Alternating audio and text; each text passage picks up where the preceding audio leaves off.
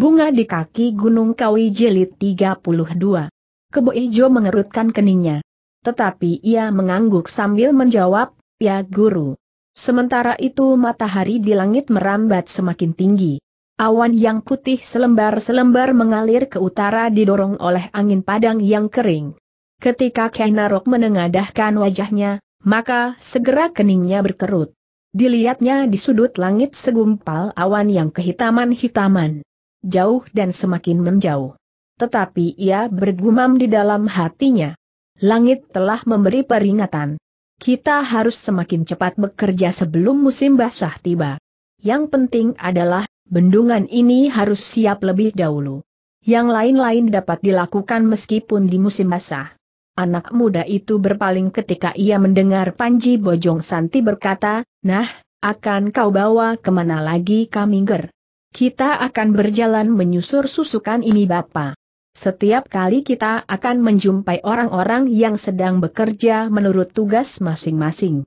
Aku ingin menunjukkan kepada adik Kebo Ijo, keseluruhan dari tugas kita di Padang Karautan ini. Marilah, aku juga ingin melihatnya. Aku pasti akan menjadi semakin kagum karenanya, sahut Panji Bojong Santi. Ketiganya pun kemudian meninggalkan bendungan. Mereka berjalan menyusur susukan induk. Ternyata susukan itu pun masih juga dikerjakan. Di beberapa bagian masih perlu diperdalam, dan di tempat-tempat tertentu telah dibangunkan bendungan-bendungan kecil untuk mengangkat air dari susukan induk itu ke parit-parit. Bukan main, desis Panji Bojong Santi. Bagaimana Bapak bertanya Kainarok? Pekerjaan ini hampir tidak ada celanya. Semua bagian yang paling kecil pun tidak terlepas dari perhitungan.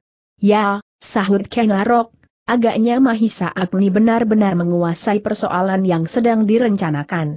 Ah, Kebo Ijo tiba-tiba berdesah, sehingga gurunya dan Kenarok bersama-sama berpaling kepadanya. Tetapi ia tidak mengucapkan sepatah kata pun.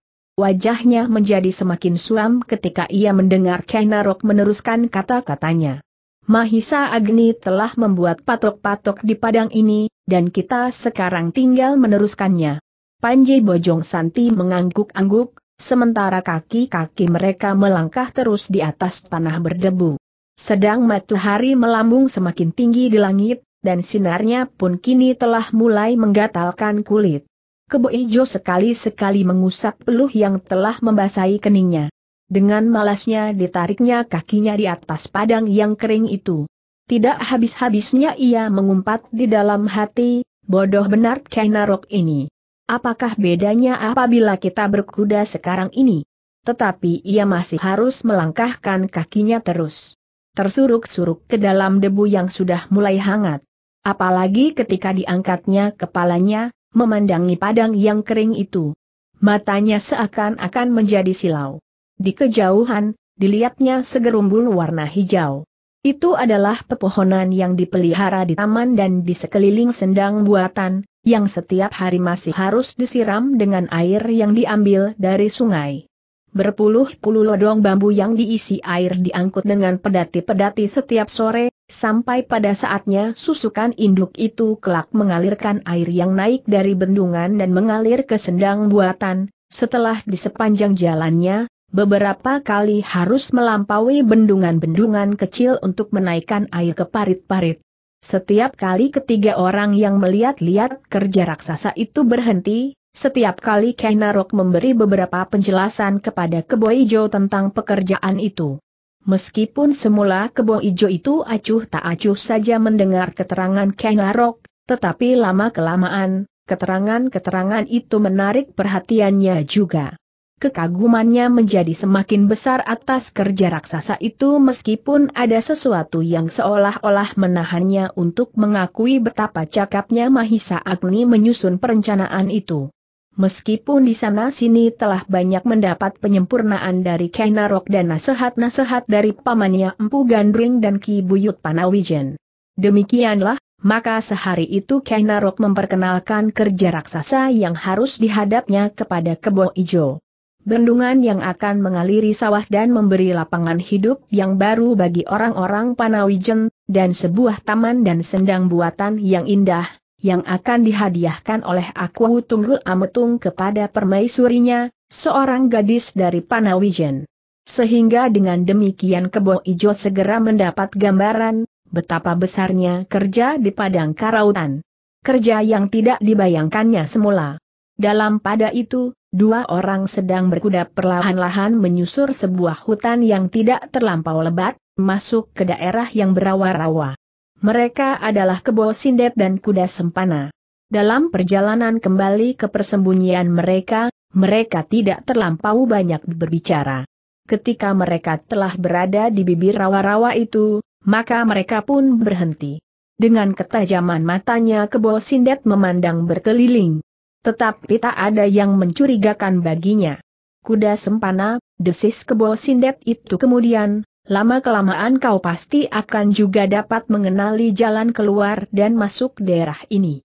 Tetapi sementara itu aku telah yakin, bahwa kau tidak akan dapat meninggalkan aku lagi. Dunia di luar dunia kita, tidak akan dapat lagi menerimamu. Karena itu, jangan mencoba mempertimbangkan untuk lari daripadaku. Kuda sempana tidak menjawab. Bahkan wajahnya pun sama sekali tidak bergerak. Ia duduk saja berdiam diri sambil memandangi batang-batang pohon air yang berdiri tegak di tengah-tengah rawa-rawa itu. Pohon-pohonan dengan akar-akarnya yang berjuntai dan bahkan seolah-olah tumbuh dari dalam air. Beberapa cercah sinar matahari yang menyusup lewat sela-sela dedaunan memercikan kilatan yang putih dari dalam air yang berlumpur itu. Meskipun matahari telah naik semakin tinggi, tetapi rawa-rawa itu seolah-olah masih diliputi oleh selembar kabut yang tipis. Marilah, berkata Kebo Sindet kemudian, kali ini kita telah gagal lagi. Perkawinan itu telah berlangsung. Tetapi kita masih belum menemukan seseorang yang dapat dibawa untuk bekerja bersama menyampaikan tawaran kepada Candides tentang kakaknya laki-laki itu. Kuda sempana menganggukkan kepalanya, tetapi, ia tidak menjawab. Kebosindat pun tidak berbicara lagi. Segera kudanya disentuhnya. Perlahan-lahan kuda itu turun ke dalam air dan perlahan-lahan pula berjalan menyeberang diikuti oleh kuda sempana. Sesaat kemudian maka bayangan mereka pun telah hilang, tenggelam ke dalam kabut. Begitu bayangan itu telah menghilang, maka sekali lagi perdu di tepi rawa-rawa itu bergerak. Sejenak kemudian muncul pula lah sebuah bayangan. Dengan hati-hati sekali sesosok tubuh bergerak mendekati tempat kebo sindet turun ke dalam air. Di sini mereka menyeberang, desisnya. Dan sesosok tubuh itu pun berdiri tegak dengan tegangnya di tepi rawa itu. Sekali-sekali dipandanginya air yang berwarna lumpur, kemudian dicobanya untuk menembus kabut yang tipis di atas rawa-rawa itu dengan sorot matanya yang tajam. Tetapi sesosok tubuh itu, seorang laki-laki tua, tidak berhasil melihat sesuatu selain pohon-pohon air yang berdiri liar berserakan di rawa-rawa itu. Tetapi aku harus menyeberang, terdengar ia berdesis perlahan-lahan. Ku korbankan nyawaku yang seolah-olah tinggal merupakan kelebihan saja dari keharusan hidupku. Dan dengan sisa inilah aku akan mencobanya. Selangkah orang itu maju, tetapi kemudian sekali lagi ia berdiri tegak seperti pepohonan di sekitarnya. Aku harus menunggu dan yakin bahwa Kebo Sindet telah jauh masuk ke dalam sorangnya. Laki-laki itu pun kemudian melangkah surut. Perlahan-lahan ia duduk di balik sebatang pohon. Tanpa sesadarnya dirabanya hulu pedang yang tersangkut di lambungnya. Mudah-mudahan kau pun dapat membantuku, desisnya. Ketika hulu pedangnya itu dilepaskannya, maka tangannya pun kemudian menarik sebuah belati panjang dari lambungnya di sisi yang lain, dan ditimang-timangnya. Sepasang senjata yang akan dapat memberi keteguhan hati, laki-laki itu berdesis pula. Mudah-mudahan kebo Sindet tidak menjadi semakin garang. Sejenak kemudian, maka laki-laki itu pun berdiri. Ia merasa bahwa waktunya telah cukup lama. Kebosindet pasti sudah jauh menyeberangi rawa-rawa itu. Maka sekali lagi ia melangkah ke tepi air, ke tempat Kebosindet menyeberang. Sejenak laki-laki tua itu tampak ragu-ragu, tetapi kemudian ia bergumam. Tidak ada jalan lain. Umur yang ada ini sudah terlampau banyak. Biarlah aku mencoba berbuat sesuatu sebelum aku kehilangan kesempatan. Perlahan-lahan laki-laki tua itu mencelupkan kakinya ke dalam air. Dengan sangat hati-hati kaki itu meraba-raba jalan yang akan dapat dilaluinya menyeberangi rawa-rawa itu. Di sini Kebo Sindet tadi membelok sedikit ke kiri, katanya di dalam hatinya, sedang kakinya pun masih juga terus meraba-raba mencari tumpuan yang cukup keras. Tetapi laki-laki tua itu tidak dapat melihat Kebo Sindet dalam jarak yang agak jauh, karena kabut yang seolah-olah masih saja bergulung-gulung di atas rawa-rawa itu. Meskipun semakin tinggi matahari kabut itu menjadi semakin tipis, tetapi masih juga seolah-olah sebuah tirai putih yang membatasi pandangan matanya. Kini orang tua itu harus menjadi semakin hati-hati. Setapak demi setapak ia maju. Sekali-sekali terasa kakinya terperosok ke dalam lumpur, sehingga ia harus melangkah surut. Hem, desahnya berapa hari aku akan sampai ke seberang rawa-rawa ini.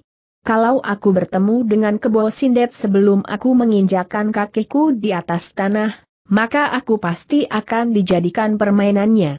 Ia pasti lebih mengenal rawa-rawa ini daripadaku. Tetapi untuk sampai ke tanah itu pun aku memerlukan waktu yang pasti cukup lama. Lambat sekali laki-laki tua itu meraba-raba dengan kakinya. Setapak ia maju, tetapi kadang-kadang ia harus surut beberapa langkah ketika kakinya tidak lagi menemukan tanah yang cukup keras di hadapannya. Bahkan kadang-kadang ia kehilangan jalan dan ia harus berdiri saja beberapa lama di tempatnya menarik nafas dalam-dalam sambil mengusap keningnya yang basah oleh keringat. Kemudian kembali kakinya berusaha untuk menemukan tempat berpijak. Tetapi aku tidak boleh berputus asa. Kalau hari ini aku belum berhasil, maka besok harus aku teruskan.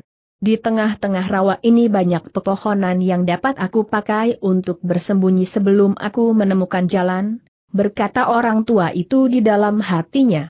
Tetapi kemudian ia menjadi ragu-ragu. Apakah ada jalan yang dapat sampai kepada setiap pohon-pohonan itu? Laki-laki tua itu menggelengkan kepalanya. Desisnya, gila benar kebo. Ia menemukan tempat persembunyian yang sebaik-baiknya. Sementara itu kabut yang tipis menjadi semakin tipis sedang mata bari telah terlampau tinggi menggantung di langit. Hampir sampai ke puncaknya. Tetapi pandangan mata laki-laki tua itu masih juga dikaburkan oleh selembar-selembar kabut yang seakan-akan sedang bergeser naik. Tetapi tiba-tiba saja dada laki-laki tua itu menjadi berdebar-debar. Beberapa puluh langkah daripadanya, ia melihat permukaan. Air bergetar. Semakin lama semakin dekat. Dilihatnya sebuah benda yang bergerak-gerak di atas permukaan air, kemudian seleret tubuh yang berenang membuat gelombang-gelombang kecil. Hemular air hitam, desis laki-laki tua itu. Semakin dekat laki-laki tua itu melihat bahwa ular itu ternyata cukup besar. Hampir sebesar lengan tangannya. Tetapi laki-laki tua itu tidak mengganggunya. Bahkan ia berdiri saja tegak seperti patung, sehingga ular itu meluncur beberapa langkah daripadanya. Dan ular itu berpaling pun sama sekali tidak. Terlampau banyak bahaya di rawa-rawa ini, desisnya. Ketika ular itu sudah semakin jauh, maka kakinya pun digerakkannya lagi. Setapak demi setapak. Namun sekali lagi ia terkejut. Kali ini ia tidak diganggu oleh ular air, seperti yang baru saja dilihatnya.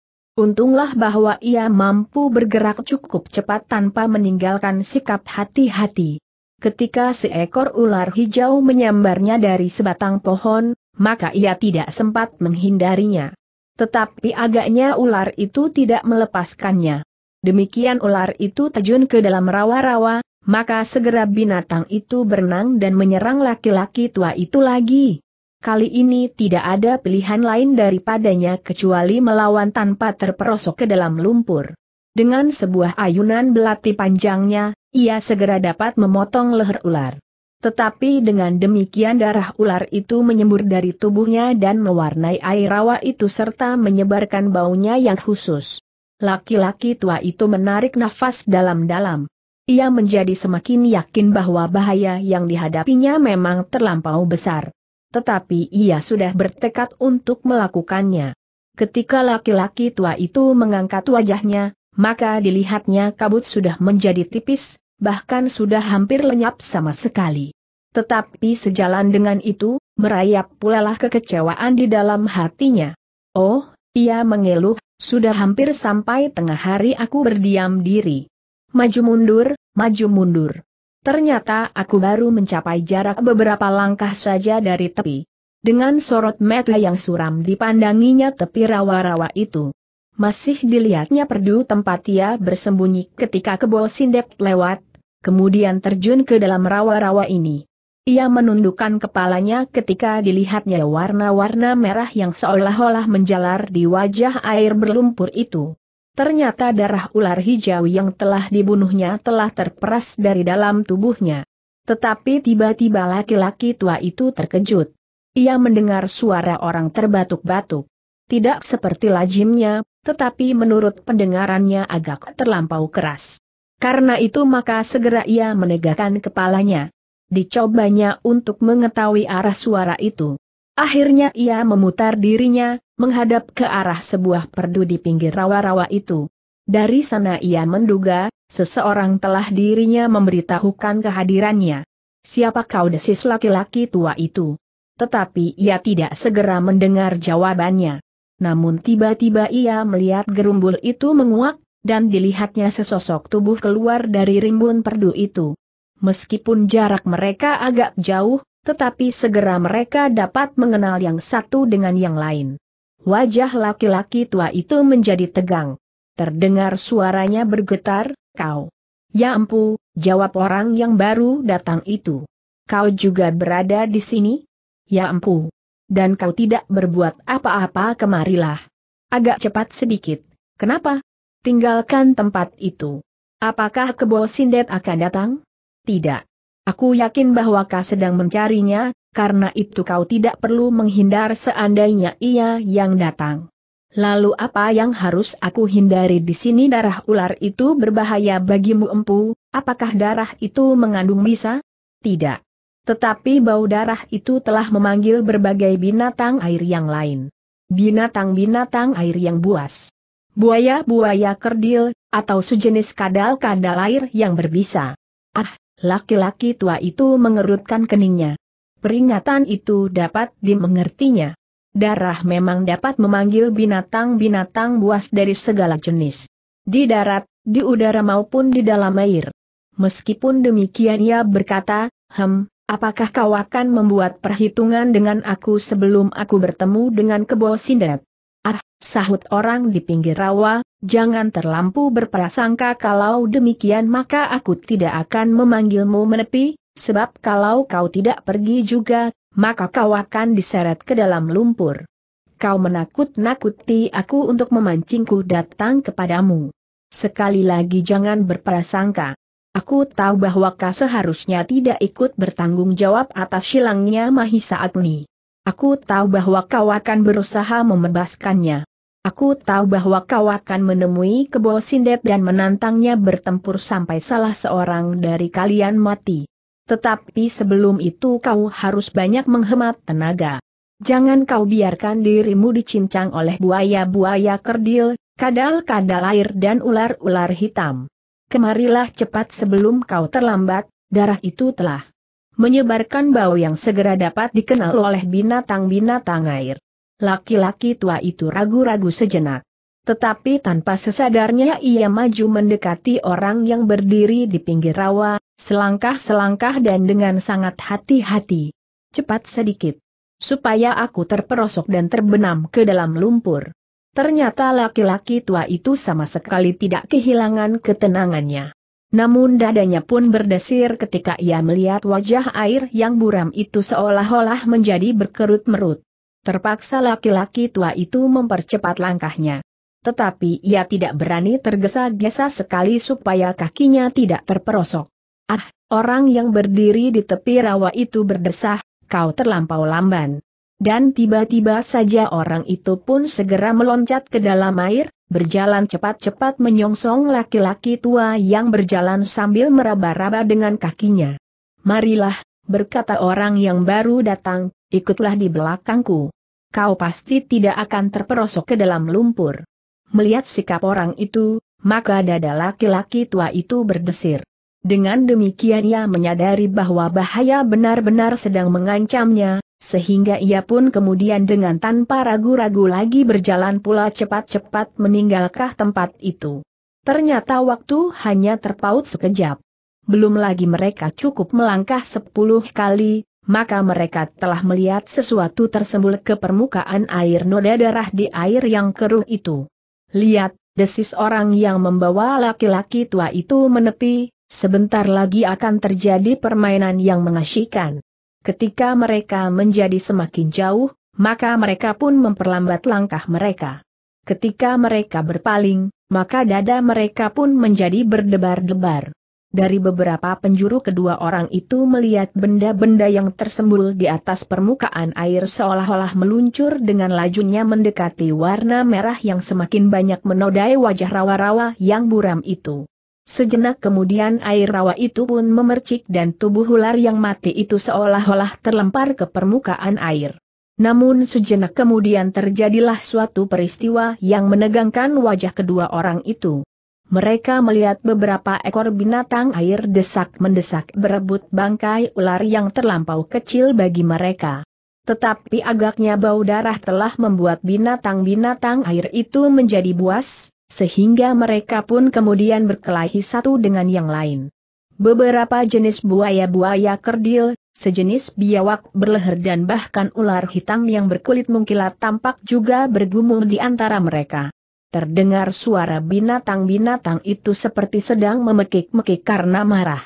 Mereka semakin lama menjadi semakin liar dan saling menggigit. Sejenak kemudian darah yang memerahi wajah air yang berwarna lumpur itu menjadi semakin banyak.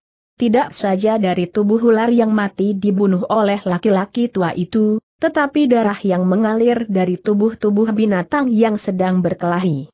Binatang-binatang yang tidak dapat mempertahankan dirinya segera mati terbunuh dan tubuhnya dikoyakkan oleh binatang-binatang yang lain. Marilah kita ke tepi, ajak orang yang datang kemudian. Mengerikan, desis laki-laki tua itu.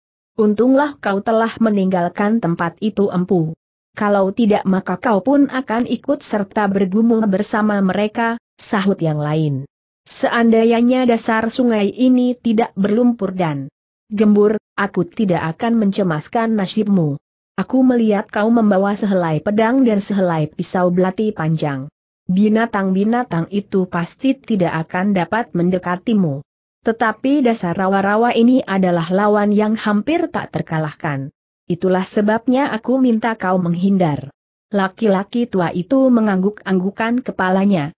Kemudian dengan menarik nafas dalam-dalam ia berjalan mengikuti orang yang memberi petunjuk kepadanya sambil bergumam. Terima kasih. Aku kira bagiku lebih baik langsung berkelahi melawan kebo sindet daripada melawan buaya-buaya kerdil itu. Orang yang berjalan di mukanya tersenyum. Bagi kami, maksudku, aku dan Kebo Sindet, hal-hal yang serupa itu telah dapat kami kenali, sehingga kami akan dapat segera menghindarinya. Hal-hal semacam itu pula lah agaknya yang telah melindungi Kebo Sindet dari segala macam kemungkinan yang membahayakan. Hampir tidak ada orang lain yang dapat sampai ke tempatnya dengan selamat. Ya, aku sudah melihatnya sendiri, sahut laki-laki tua itu. Karena itu maka aku berterima kasih kepadamu. Aku akan menunggu saja kebo Sindet keluar dari sarangnya. Aku akan menemuinya dan menantangnya untuk berkelahi. Tetapi tidak dengan kuda sempana. Aku ingin mencoba dan memperbandingkan, apakah aku masih juga mampu mengimbangi kekuatannya. Tetapi kau tidak akan mendapat kesempatan itu, jawab orang yang membawanya menepi, kuda sempana selalu dibawanya ke mana ia pergi. Kenapa? Kebosindet mencemaskan nasib Mahisa Agni. Kalau kuda sempana ditinggalkannya, maka ia akan melepaskan dendamnya kepada Mahisa Agni. Mungkin anak itu akan dibunuhnya atau disiksanya sampai mati. Apakah Mahisa Agni tidak mendapat kesempatan untuk melawan? Kesehatannya belum pulih kembali sejak ia datang dalam keadaan yang sangat parah. Ah itu terjadi beberapa waktu yang lampau. waktu yang panjang ini aku rasa telah cukup baginya untuk mendapatkan segala kekuatannya. Mungkin apabila Mahisa Agni itu berada di padang karautan. Tetapi ia berada di sarang kebo Sindet. Laki-laki tua itu mengangguk-anggukan kepalanya. Lalu tiba-tiba ia bertanya, bagaimana dengan Empu Gandring? Apakah ia tidak berbuat sesuatu seperti kau tidak berbuat apa-apa selain menonton dan mengamati saja?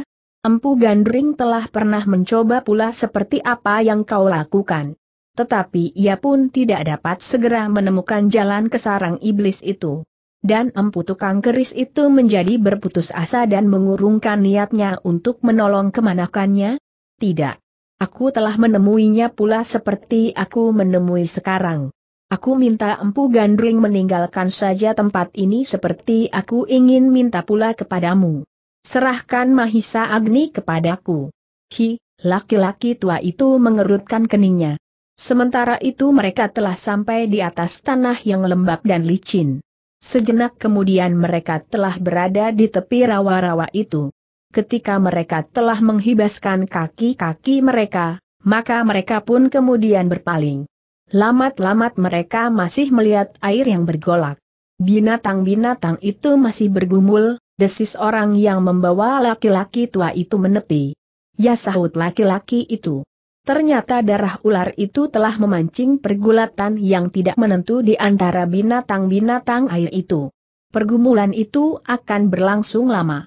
Semakin lama semakin banyak. Tetapi akhirnya mereka akan berhenti dengan sendirinya apabila sebagian terbesar dari mereka telah menjadi luka-luka dan lari meninggalkan pergumulan itu. Hanya ular-ular hitamlah yang biasanya paling betah berkelahi. Tidak untuk mangsa, tetapi hanya sekedar melepaskan nafsu menyerangnya saja.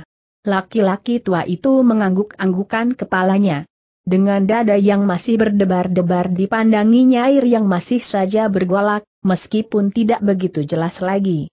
Tetapi tiba-tiba ia berpaling memandangi orang yang telah membawanya menepi, katanya apakah yang kau katakan tadi? Kau minta empu gandring mengurungkan niatnya untuk menolong kemanakannya? Dan kau sekarang juga akan berbuat serupa kepadaku? Ya empu, jawab orang itu. Laki-laki tua itu mengerutkan keningnya. Sekali-sekali ia masih juga memandang ke arah buaya-buaya kerdil yang saling berkelahi dengan binatang-binatang air yang liar lainnya. Kau aneh, kemudian laki-laki tua itu berkata, kalau demikian apakah kau ingin melihat Mahisa Agni itu mati perlahan-lahan, di sarang kebosindet? Kau halangi orang yang akan menolongnya, tetapi kau sendiri tidak berbuat apa-apa. Padahal agaknya kau sudah mengenal jalan di dalam rawa-rawa ini seperti juga kebo Sindet mengenalnya. Ya, aku memang sudah mengenal jalan-jalan di dalam air itu. Di sini ada tiga jalan yang dapat ditempuh. Jarak dari ketiganya itu tidak terlampau jauh. Di sini, di tempat kebo Sindet tadi masuk, kemudian kira-kira 50 langkah dari sini, dan yang lain kira-kira dalam jarak yang sama sebelah lain. Jalan ini adalah jalan yang tengah. Ah, kau malah bercerita tentang jalan menuju ke sarang itu, sahut laki-laki tua, kenapa kau tidak mengantarkan saja empu gandring ke sana? Orang itu menggeleng. Aku tidak dapat melakukannya, supaya Mahisa Agni tidak dibunuhnya. Kalau Kebo Sindet melihat seorang dari kita datang kepadanya, mungkin empu gandring, mungkin kau dan mungkin aku, maka yang pertama-tama dilakukan sebelum melawan salah seorang dari kita adalah membunuh Mahisa Agni, atau ia memerintahkan kepada kuda sempana untuk membunuhnya selama ia melayani salah seorang dari kita. Laki-laki tua itu mengerutkan keningnya. Lalu katanya, kalau begitu kita pergi berdua. Seharusnya sudah kau lakukan bersama-sama dengan Empu Gandring. Salah seorang dari kita melawan Kebo Sindet, yang lain berusaha menolong Mahisa Agni. Kalau perlu membinasakan kuda sempana, itu pun berbahaya. Apalagi kalau Kebo Sindet melihat dua orang datang bersama-sama. Segera ia akan mencekik Mahisa Agni sampai mati, atau berbuat hal-hal di luar dugaan. Mungkin ia menyeret Mahisa Agni ke hadapan kita dan mengancam akan membunuhnya. Sementara itu ia minta kita untuk menyelam ke dalam lumpur. Apakah kita akan bersedia untuk melakukan? Ah, sudah tentu kita akan dapat meloncat menepi dan membunuh kebo sindet itu. Kita berdua pasti mampu melakukan. Tetapi Mahisa Agni pun pasti sudah menjadi bangkai. Laki-laki tua itu mengangguk-anggukan kepalanya. Tetapi, tiba-tiba wajahnya menjadi tegang. Sambil memutar tubuhnya ia berkata, aku menganggap kau orang aneh. Kau mengenal jalan-jalan di dalam rawa-rawa ini. Kau pasti pernah melihat kebo sindet pergi meninggalkan sorangnya. Nah, kenapa kau tidak masuk ke dalamnya pada saat-saat kebo sindet itu pergi, dan menyelamatkan Mahisa Agni? Kalau Mahisa Agni itu sudah lepas dari tangan kebo sindet, maka kau pasti akan dapat berbuat sekehendakmu atasnya menantangnya berkelahi sampai salah seorang dari kalian mati. Kau atau kebo sindet. Orang itu mengangguk-anggukan kepalanya. Tetapi wajahnya tidak menunjukkan kesan apa pun juga. Suaranya masih juga bernada datar. Tanpa ragu-ragu orang itu berkata, ya, kalau aku mau aku akan dapat melakukannya. Kenapa tidak kau lakukan hal itu? Aku mempunyai pertimbangan lain. Pertimbangan apa? Orang itu tidak segera menjawab. Dilontarkannya pandangan matanya jauh-jauh ke tengah-tengah rawa-rawa itu. Sekali-sekali dipandanginya sulur-sulur yang bergayutan pada cabang-cabang pepohonan berjuntai dan menyentuh wajah air yang keruh, dan sekali-sekali dipandanginya binatang-binatang air yang masih saja bergulat meskipun sudah agak berkurang. Bagaimanakah pertimbanganmu desak laki-laki tua itu? Orang itu tidak segera menjawab. Matanya yang cekung masih juga menatap jauh ke tengah-tengah rawa-rawa itu. Tiba-tiba ia berkata, jauh ke sanalah, sarang kebo sindet itu, kenapa kau tidak pergi ke sana? Orang itu menggeleng. Tidak. Aku sedang melakukan rencanaku sendiri. Aneh, laki-laki tua itu berdesis, kau memang orang aneh bagiku. Aku belum mengenal tabiatmu sebaik-baiknya, seperti kau belum mengenal aku pula. Mungkin kau masih juga menaruh curiga. Atau malahan kau ingin berbuat atasku, tetapi kau mencari jalan yang berputar-putar. Tidak, sahut orang tua itu, aku sudah yakin bahwa kau akan pergi menolong Mahisa Agni. Kalau yang berbicara dengan aku sekarang ini bukan kau, maka aku pasti tidak akan percaya bahwa kau benar-benar bermaksud baik terhadap Mahisa Agni, jawab laki-laki tua itu. Aku tidak melihat tanda-tanda, bahwa kau bersungguh-sungguh ingin melepaskannya dari tangan kebo sindet. Seandainya Empu Gandring pada saat ini ada juga di sini, maka ia pasti akan berpendirian sama seperti aku. Kau salah mengerti. Tidak. Aku tidak salah mengerti. Aku memang sama sekali tidak mengerti maksudmu dan caramu. Serahkan kepadaku tinggalkanlah tempat ini. Aku akan menyelesaikan sesuai dengan rencanaku. Laki-laki tua itu mengerutkan keningnya. Lalu katanya, kau benar-benar membuat aku heran. Barangkali akan lebih baik apabila aku menunggu di sini. Kalau kebo sindet itu keluar, kita bunuh bersama-sama. Kita akan dapat melepaskan Mahisa Agni tanpa membahayakan jiwanya. Orang itu tidak segera menjawab. Kerut-merut dahinya membayangkan suatu pergolakan di dalam dadanya. Sejenak kemudian, perlahan-lahan ia menjawab, hal itu memang mungkin kita lakukan empu, tetapi aku tidak akan puas. Meskipun kebo sindet akan terbunuh, namun kematiannya tidak akan menumbuhkan persoalan di dalam dirinya. Di saat-saat ia menghadapi maut karena kita berdua bersama-sama melawannya, ia tidak akan heran, bahwa akhirnya ia harus mati. Tetapi aku tidak ingin berbuat demikian. Aku akan membuatnya menjadi bingung dan tidak dapat mengerti apa yang terjadi. Laki-laki tua itu masih menggelengkan kepalanya, aku pun tidak mengerti. Kalau kau ingin membuat kebo sindek bingung, maka yang pertama-tama menjadi bingung adalah aku. Selain hal-hal yang membingungkan kau empu, orang itu telah menyambung, aku pun sudah mematerikan suatu keinginan di dalam hatimu, bahwa tanganku sudah tidak pantas lagi untuk diwarnai dengan darah. Seumurku dan seumurmu empu, sebaiknya sudah tidak menambah dosa lagi. Laki-laki tua itu mengangguk-anggukan kepalanya. Perlahan-lahan ia menjawab, sebenarnya aku pun berkeinginan untuk berbuat demikian. Tetapi kali ini aku berada dalam keadaan yang khusus. Aku akan merasa berdosa dan menambah dosaku yang telah bertimbun-timbun itu apabila aku tidak berbuat sesuatu untuk melepaskan Mahisa Agni dari tangan iblis-iblis dari kemundungan. Kau telah melakukannya, sahut orang itu, kau sudah terlepas dari segala akibat yang timbul dari keadaan Mahisa Agni yang bagaimanapun juga. Aku sudah mengambil keputusan bahwa aku akan membebaskan dengan caraku. Hem, laki-laki tua itu menarik nafas dalam-dalam, aku benar-benar bingung dan tidak mengerti. Apakah kau sudah kerasukan roh jahat dari Wong Sarimpat? Orang itu mengerinyitkan alisnya. Ah, desahnya, apakah kau tidak percaya kepadaku? Seharusnya aku percaya. Terlampau percaya. Tetapi sikapmu meragukan aku. Atau, apakah kau sedang memperolok-olokan aku? Tidak, aku berkata sebenarnya. Laki-laki tua itu terdiam sejenak. Tetapi kemudian ia menggelengkan kepalanya, tidak masuk di akalku.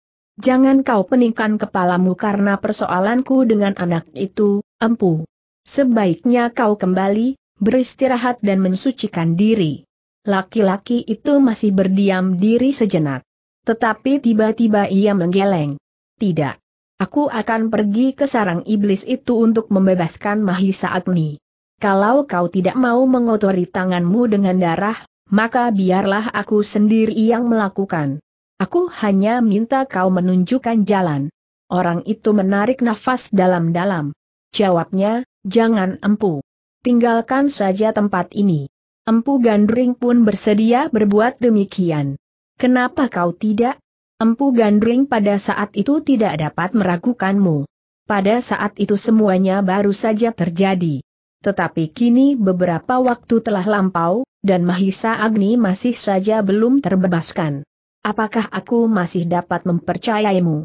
Setidak-tidaknya aku mencurigai kemampuanmu, Seandainya kau benar-benar ingin melepaskannya dari tangan kebosindet, yang tidak masuk di akalku adalah, karena kau menolak bekerja bersama dengan aku untuk kepentingan Mahisa Agni itu. Orang itu menarik nafas dalam-dalam. Kerut-merut di wajahnya seakan-akan menjadi semakin dalam. Perlahan-lahan ia mengangguk-anggukan kepalanya sambil berdesis. Aku dapat mengerti seandainya kau menjadi ragu-ragu empu. Tetapi aku tidak dapat berbuat lain. Kalau kau bersedia, aku ingin membantumu. Atau kau membantuku seandainya kau tidak mau lagi mengotori dirimu dengan dosa-dosa baru. Sebab bagiku, apa yang aku lakukan ini justru untuk mencegah atau setidak-tidaknya mengurangi dosa-dosa baru yang akan terpaksa terjadi karena dosa-dosaku yang telah bertumpuk itu. Orang itu tidak segera menjawab. Direnunginya rawa-rawa yang kini telah menjadi semakin jelas terhampar di muka kaki mereka. Pedut semakin tipis-tipis kini telah lenyap disapu oleh angin yang semakin keras berhembus dari dalam hutan. Empu, apakah kau sudah tidak mempunyai tanggungan apa pun lagi? Laki-laki tua itu berpaling. Wajahnya yang keheran-heranan itu tampak berkerut-merut. Apakah maksudmu laki-laki tua itu bertanya? Apakah kau sudah tidak mempunyai kewajiban-wajiban lagi di padepokanmu, misalnya menyiapkan murid-muridmu atau kewajiban apa pun lagi? Aku tidak tahu maksudmu. Tetapi aku kira aku sudah tidak mempunyai tanggungan dan kewajiban apa pun lagi selain melepaskan Mahisa Agni. Tidak ada lagi muridmu yang memerlukan bimbinganmu. Laki-laki tua itu menggeleng. Tetapi ia bertanya, Apakah maksudmu bahwa aku pasti akan mati di tengah rawa-rawa itu? Tidak. Kau selalu salah paham. Lalu? Aku tidak dapat menolak keinginan baikmu menolong aku melepaskan Mahisa Agni. Tetapi itu memerlukan waktu yang lama, karena itu aku tidak dapat minta kepada Empu Gandring untuk melakukannya, sebab ia mempunyai anak istri tanggungan dan kewajiban. Tetapi seandainya kau bersedia, maka aku akan berterima kasih sekali kepadamu. Apa yang harus aku lakukan? tinggal di sini bersama aku. Tidak terbatas waktu, sampai Mahisa Agni dapat terlepas dari tangan Kebo Sindet dengan caraku. Laki-laki tua itu terdiam sejenak. Kerut-merut di keningnya menjadi semakin dalam. Berbagai pertimbangan berkecamuk di dalam dadanya. Namun, kemudian laki-laki tua itu terlempar ke dalam suatu keinginan untuk mengetahui apa yang akan dilakukan oleh orang itu care yang akan dipakainya untuk melepaskan Mahisa Agni.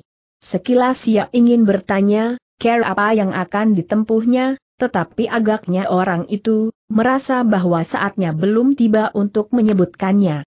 Bagaimana terdengar orang itu bertanya, apakah kau dapat menyediakan waktu yang tidak terbatas itu? Laki-laki tua itu menjadi ragu-ragu sejenak. Namun keinginannya untuk mengetahui apa yang akan terjadi mendesaknya, sehingga ia berkata, sebenarnya aku tidak tahu apakah yang akan kau lakukan itu menguntungkan Mahisa Agni. Tetapi aku ingin tahu apa yang akan terjadi. Karena itu, maka biarlah aku tinggal di sini bersamamu. Aku tidak berkeberatan seandainya tiba-tiba saja kau membunuhku untuk melepaskan dendam hatimu. Hem, orang itu menarik nafas dalam, kau masih juga prasangka. Kalau aku ingin membunuh dengan curang, maka yang pertama-pertama aku bunuh sambil bersembunyi adalah Kebo Sindet. Mungkin aku dapat mengintainya dan dengan diam-diam aku melontarnya dengan sebilah pisau, dengan tangan kiri ke punggung kuda sempana, dan dengan tangan kanan ke punggung Kebo Sindet. Seandainya Kebo Sindet tidak mati seketika itu, tetapi tenaganya pasti sudah separuh surut, sedang kuda sempana pasti tidak usah mengulangi untuk yang kedua kalinya. Laki-laki tua itu mengangguk-anggukan kepalanya. Ia tidak menyangkal bahwa hal yang demikian itu dapat terjadi. Ia yakin, seandainya orang itu ingin, maka pasti dapat dilakukannya. Karena itu maka jawabnya, baiklah, aku tinggal di sini aku masih mempunyai sisa-sisa kepercayaan kepadamu. Terserahlah, tetapi apabila kau bersedia tinggal di sini, aku akan sangat berterima kasih. Tetapi kau harus menahan nafsumu. Betapapun mengendap hati dan nalarmu, tetapi sifat-sifatmu masih saja tumbuh setiap saat. Karena itu, kau harus bersabar. Terlampau sabar untuk melakukan pekerjaan ini. Laki-laki tua itu masih mengangguk-anggukan kepalanya, aku akan mencobanya. Mudah-mudahan kau berhasil. Kalau kau dicengkam oleh nafsumu maka semuanya akan gagal. Mudah-mudahan, desis laki-laki tua itu. Kalau begitu, marilah kita menepi. Jalan ini adalah jalan yang sering dilalui oleh kebo sindet dan kuda sempana. Baru saja ia masuk ke dalam sorangnya. Tetapi mereka tidak kerasan berada di rumah mereka. Paling lama mereka berada di sana satu hari satu malam. Kemudian mereka pergi lagi untuk dua tiga hari. Ke mana saja mereka itu pergi? Orang itu menggeleng. Aku tidak tahu. Tetapi adalah kebiasaan kebo sindet untuk berjalan dari lorong ke lorong, dari padesan ke padesan. Dari rumah ke rumah. Ia adalah seorang raja yang tidak bermahkota tak seorang pun yang berani menentang kebendaknya. Dan kau lebih baik tidur saja selama ini. Sudah aku katakan. Ikutlah aku berbuat sesuatu. Laki-laki tua itu terdiam. Dan sejenak mereka saling berdiam diri, sehingga desir angin di dedaunan terdengar semakin nyata di antara gemersik sayap burung-burung liar yang berkeliaran di pepohonan. Mari kita menepi. Di mana kau tinggal selama ini? Di mana-mana di antara pepohonan dan gerumbu-gerumbu liar itu. Tetapi aku kadang-kadang berada di lereng-lereng bukit kecil itu. Bagaimana kalau tanah itu longsor? Akibatnya sudah pasti. Aku mati tertimbun di bawahnya. Laki-laki tua itu bertanya lagi. Keduanya berjalan dan menyelinap di belakang gerumbul-gerumbul liar. Mereka kemudian berhenti di sebuah ereng-ereng padas dari sebuah gumuk kecil. Di sini aku berteduh bila hujan turun. Laki-laki tua itu mengangguk-anggukan kepalanya. Tetapi keningnya kemudian tampak berkerut-merut. Dilihatnya di dalam ereng-ereng itu berbagai macam benda yang semula tidak dikenalnya. Sulur-sulur kayu, kepingan batu-batu kecil dan gulung tali tersangkut di pinggiran ereng-ereng itu. Hem, laki-laki tua itu menarik nafas dalam-dalam. Ternyata kau masih juga tekun. Ilmu apa lagi yang akan kau lahirkan di sini? Orang itu menggeleng. Aku hanya membiasakan diri mempergunakan alat-alat yang dapat aku temui di sini. Apakah kau sedang menciptakan suatu tata gerak dari sebuah ilmu yang akan kau persiapkan untuk membunuh kebo Sindet? Itu adalah lucu sekali. Sekarang juga kau tidak akan dapat dikalahkan, meskipun kau tidak juga yakin akan mengalahkannya. Kalau kau memerlukan waktu terlalu lama dengan sebuah ilmu baru, maka Mahisa Agni pasti sudah menjadi makanan buaya-buaya kerdil. Orang itu menggeleng. Kau salah. Mahisa Agni tidak akan dibunuhnya. Anak itu akan dijual oleh Kebo Sindet kepada permaisuri Tunggul Ametung itu. Laki-laki itu sekali lagi terdiam. Namun pandangan matanya beredar ke tempat-tempat di sekitarnya. Batu-batu yang pecah berhamburan. Batang-batang kayu yang patah. Dan yang paling menarik baginya adalah batu-batu kecil yang masuk membenam ke dalam batang-batang kayu. Sambil menarik nafas ia bergumam. Kau telah menemukan ilmu lemparan yang tiada taranya. Kau dapat membenamkan batu-batu kecil itu ke dalam tubuh batang-batang kayu sedemikian dalamnya. Orang itu menggeleng. Tidak terlampau aneh. Kita sudah mengenal bandil sejak bertahun-tahun sebelumnya. Tetapi dengan bandil batu-batu itu tidak akan dapat membenam sekian dalam. Orang itu memandangi laki-laki tua itu dengan herannya. Sejenak ia tidak menyaut. Namun kemudian sambil menggelengkan. Kepalanya ia berkata, kau memang orang aneh. Seolah-olah kau adalah anak kemarin sore yang kagum melihat tupai berloncat-loncatan di dahan-dahan. Tidak, tetapi kau memang dahsyat. Laki-laki itu kemudian berdiri. Melangkah perlahan-lahan mengamat-amati beberapa lubang bekas lemparan. Bahkan kemudian ia mengangguk-angguk sambil bergumam, luar biasa. Dahan-dahan kecil ini tidak saja dibenami oleh kerikil-kerikil yang kau lemparkan, tetapi dahan-dahan kecil ini berlubang tembus karenanya. Ah, sahut orang itu, jangan terlampau memuji. Aku kira bagimu hal itu sama sekali tidak berarti apa-apa. Marilah, empu duduklah di sini kita berbicara sebagai orang tua-tua yang tidak lagi terlampau banyak menghiraukan masalah-masalah lahiriah. Aneh. Kau sendiri masih mesu diri, memperdalam ilmu-ilmu kanuragan. Tetapi kau berkata, bahwa kita tidak perlu lagi terlampau banyak menghiraukan masalah-masalah lahiriah. Aku tidak menyadap ilmu itu untuk kepentingan sendiri. Ya, untuk orang lain, untuk muridmu misalnya. Tetapi dengan demikian bukankah kau ingin mendapat kelangsungan dari masalah-masalah lahiriah yang kau tekuni ini? Ya, orang itu termenung sejenak. Perlahan-lahan ia menjawab, itulah keringkihan jiwa manusia. Manusia selalu dibayangi oleh nafsu-nafsu lahiriah, meskipun aku telah mencoba mengasingkan diriku, tetapi aku pun masih juga diburu oleh nafsu yang tidak akan dapat dipada, makan dengan kekuatanku sendiri, kecuali, tidak jelas, maha agung. Dan aku berdoa, tidak jelas, dari nafsu yang demikian, ada bagian lontar yang sobek. Tetapi, laki-laki itu menyahut, kau ingin menurunkan ilmu ini kepada orang lain. Bukankah begitu? Orang itu kemudian memandangi bintik-bintik di kejauhan dengan sinar matanya yang buram. Perlahan-lahan ia menjawab, ya, Laki-laki tua itu menarik nafas dalam-dalam. Desisnya, itu adalah sifat manusiawi. Tetapi aku kira kau memiliki cita-cita yang lebih bening daripada aku. Aku kira kau masih juga memikirkan kebenaran dan keadilan, meskipun tidak seorang pun yang dapat melihatnya dengan sempurna. Setiap mulut yang menyebut kebenaran dan keadilan tidak akan dapat dilepaskan dari kepentingan pribadi. Aku pun tidak dapat melepaskannya pula. Kebenaran dan keadilan yang menguntungkan diriku sendiri. Tetapi ada nilai-nilai yang umum dari kebenaran dan keadilan. Nilai-nilai yang sewajarnya menurut penilaian manusia yang picik betapapun juga ilmunya bertimbun di dalam diri. Dan penilaian itulah yang sejauh-jauhnya kita pergunakan. Nilai-nilai manusiawi yang goyah, sahut orang itu, kalau saja kita dapat berpegangan kepada nilai-nilai yang abadi.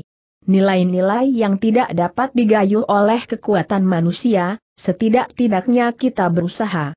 Tetapi kita memang harus menyadari, bahwa tidak ada seorang pun, ya tidak seorang pun, yang dapat melihat nilai-nilai yang sempurna dari kebenaran dan keadilan itu. Meskipun demikian, kita berusaha untuk menemukannya. Kita harus bersandar diri kepada budi yang bening. Bukan datang dari kebijaksanaan kita sendiri, tetapi hanya dapat ada pada diri kita apabila kita mendapat kemurahan dari Yang Maha Agung, orang itu berhenti sejenak sedangkan laki-laki tua yang berdiri beberapa langkah daripadanya itu memperhatikannya dengan sungguh-sungguh. Kau telah tidak jelas, yang kuat di saat-saat umurmu semakin tidak jelas, RTI apa yang kau katakan, ada bagian lontar yang sobek. Kau akan mengerti. Kemarilah. Duduklah di sini. Aku dapat merebus air buat menghangatkan tubuh kita, empu. Ya, laki-laki itu memutar tubuhnya dan berjalan mendekati orang yang masih saja duduk di pereng padas. Salah satu dari kebodohanku adalah, bahwa aku lebih tertarik pada kedahsyatan permainan kerikil daripada nilai-nilai yang kau katakan. Jangan cemas. Aku pun masih juga lebih banyak berbuat demikian. Sudah aku katakan. Marilah kita memohon, agar kepada kita diturunkannya budi bening dan mulus-mulus, supaya kita dapat melihat jalan yang paling bersih yang harus kita tempuh. Hem, laki-laki tua itu menarik nafas dalam-dalam, Sekali lagi aku mengagumi nilai kanuraganmu. Kau agaknya telah berhasil meletakkan dasar dari ilmumu yang baru. Ah, kau selalu kembali kepada hal itu juga. Apakah kau mempunyai nama buat ilmumu yang baru? Sama sekali bukan baru. Kau pun akan dapat melakukannya. Kita tinggal menyalurkan-menyalurkan kekuatan yang telah kita miliki untuk mendasari lontaran batu itu. Aku mengerti. Tetapi menilik bekas-bekasnya, kau dapat melempar lebih dari satu batu. Bahkan lebih dari lima batu sekaligus dan mengenai sasaran yang kau kehendaki. Permainan kanak-kanak. Sudahlah. Marilah kita berbicara tentang yang lain. Tentang sepasang pedangmu misalnya. Apakah itu juga sejenis ilmu yang baru? Sepanjang umurmu kau tidak pernah membawa pedang. Apalagi berpasangan aku akan berhadapan dengan iblis kemundungan. Aku sudah berniat bertempur sampai salah seorang dari kami mati. Itulah sebabnya aku membawa senjata rangkap. Seandainya tanganku ada tiga, maka aku pun pasti membawa tiga pucuk senjata. Orang yang diajaknya berbicara tersenyum. Jawabnya, kenapa tidak kau pasang tanduk sama sekali di kepalamu, taji di kaki dan siku tanganmu, empu. Laki-laki tua itu pun tersenyum pula. Katanya, aku bersungguh-sungguh ingin membunuh Kebo Sindet. Di mana senjatamu, ciri kebesaran namamu selama ini? Laki-laki tua itu menarik nafas dalam-dalam. Tetapi ia tidak segera menjawab pertanyaan itu. Sejenak kedua orang tua-tua itu terdiam.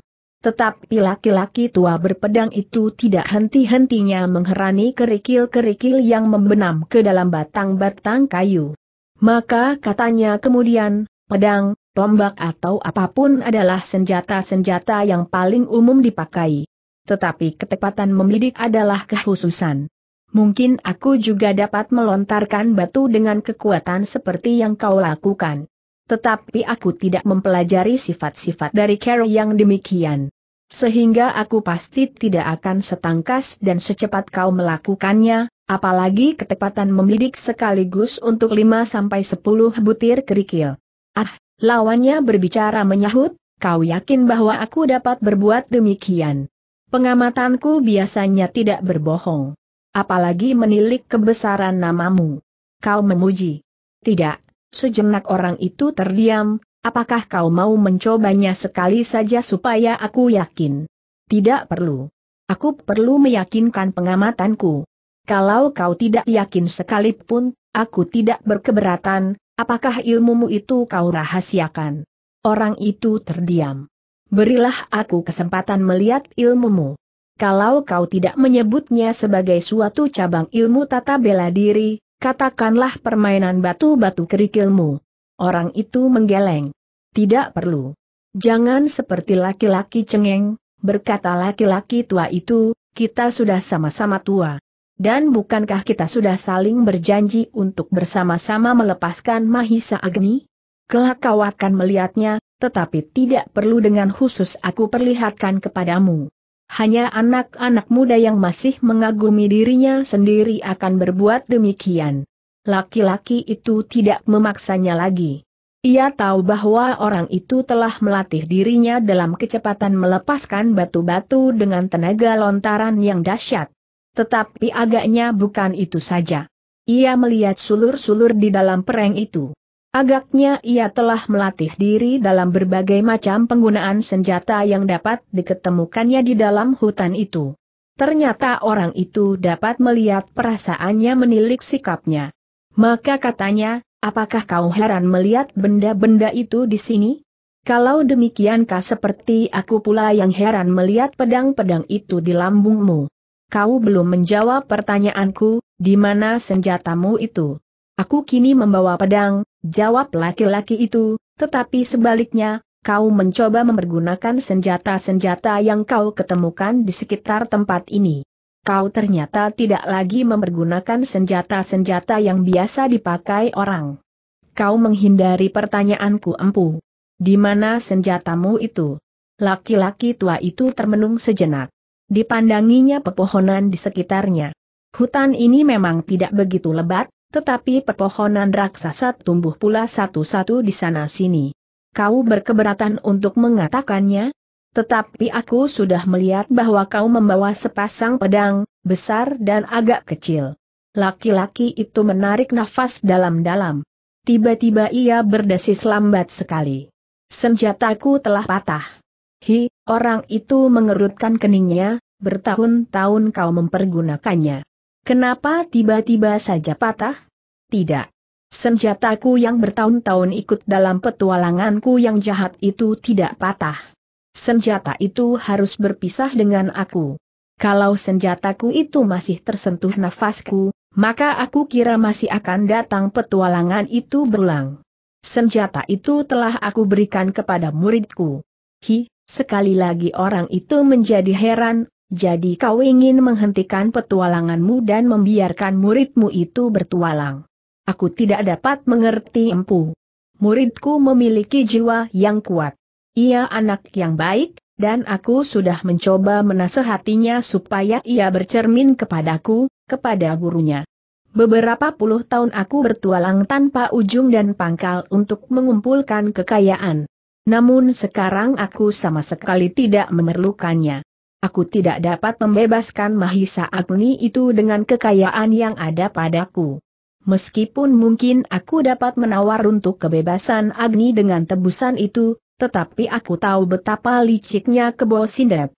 Ia akan menerima uang dan kekayaan itu. Tetapi aku yakin bahwa Mahisa Agni tidak akan dibebaskannya, apabila iblis itu belum terbunuh. Orang itu mengangguk-anggukan kepalanya. Jadi kau yakin bahwa muridmu itu tidak akan berbuat seperti kau? Ya, ia adalah anak yang paling aku benci sebelumnya karena ia tidak dapat menyesuaikan dirinya dengan keinginanku. Namun akhirnya aku tahu, bahwa ia adalah murid yang paling baik. Apalagi ketika aku tahu, bahwa ia terjerumus masuk ke dalam padepokanku.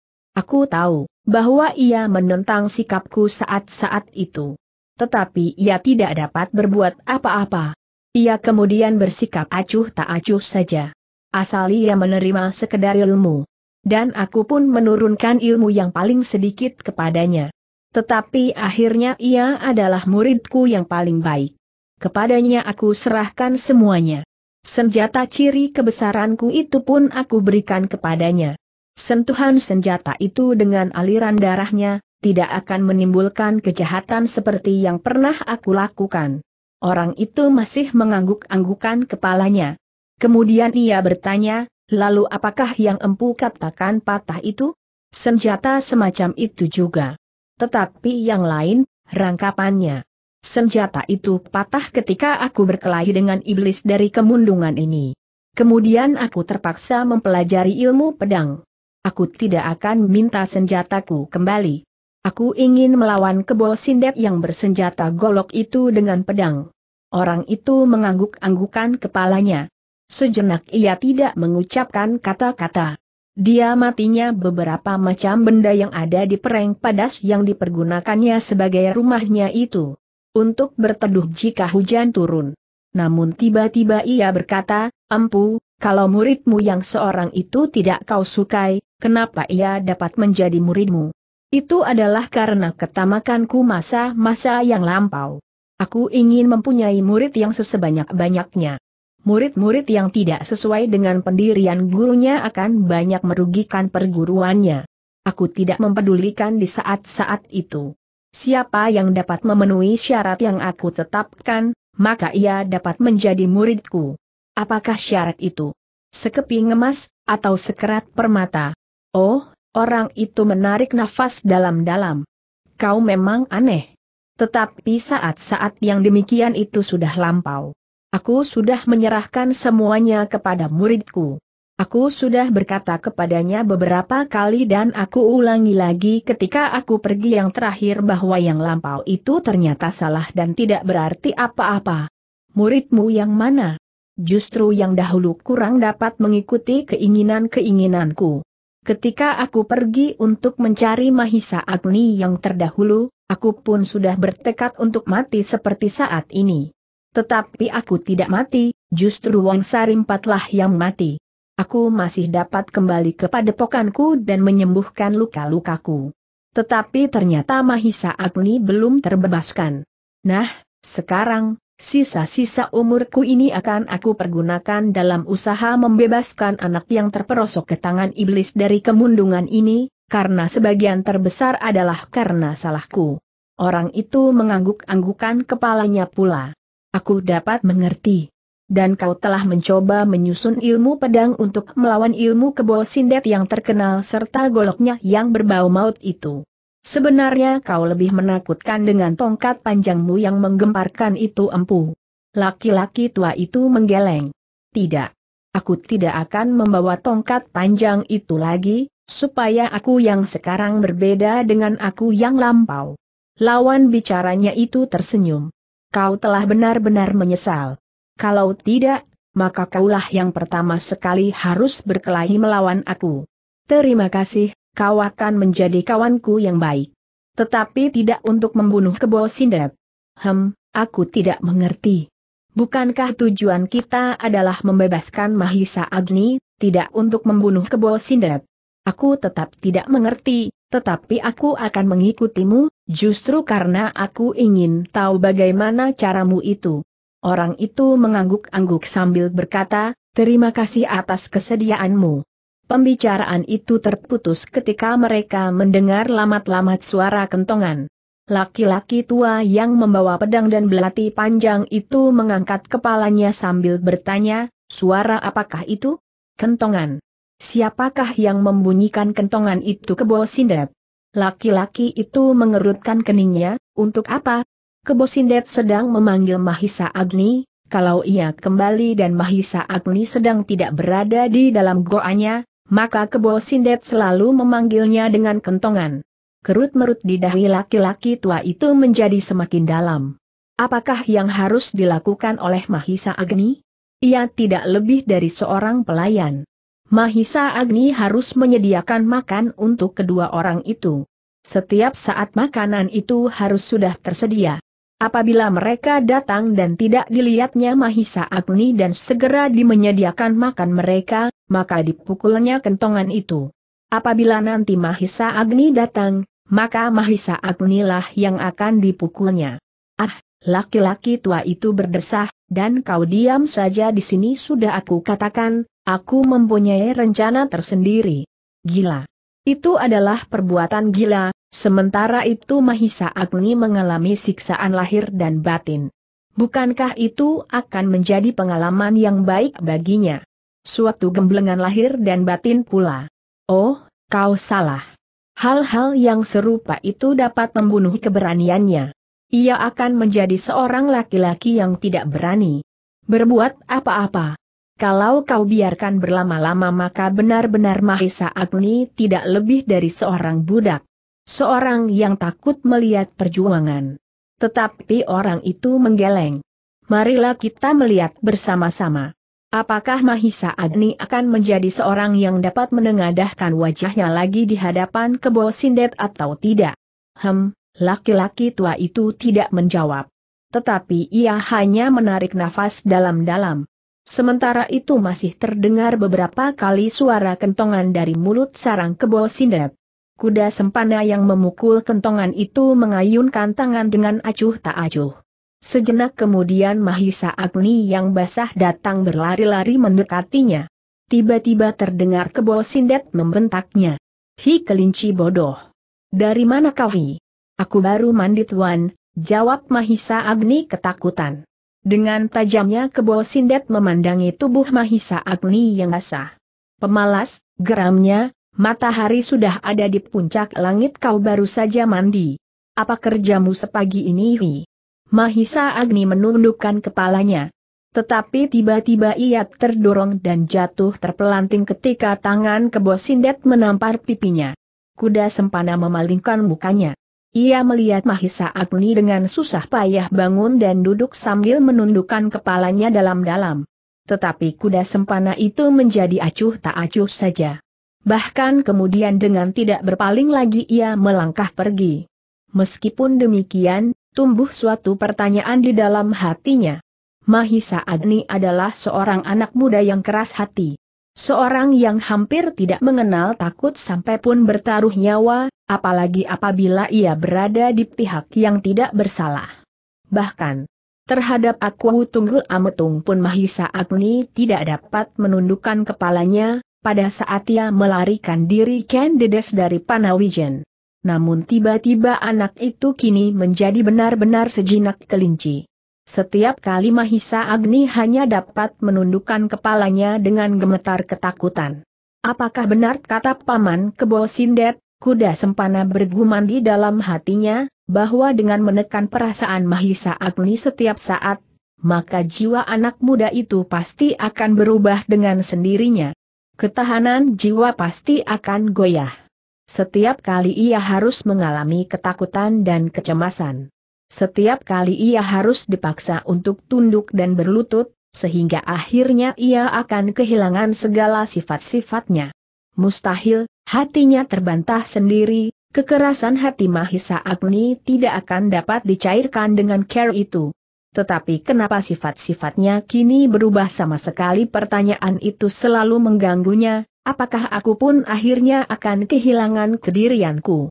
Kuda sempana itu mengangguk-anggukan kepalanya, ya, aku memang sudah kehilangan diriku sendiri guruku hampir terbunuh oleh paman Kebo Sindet dan Wang Sarimpat.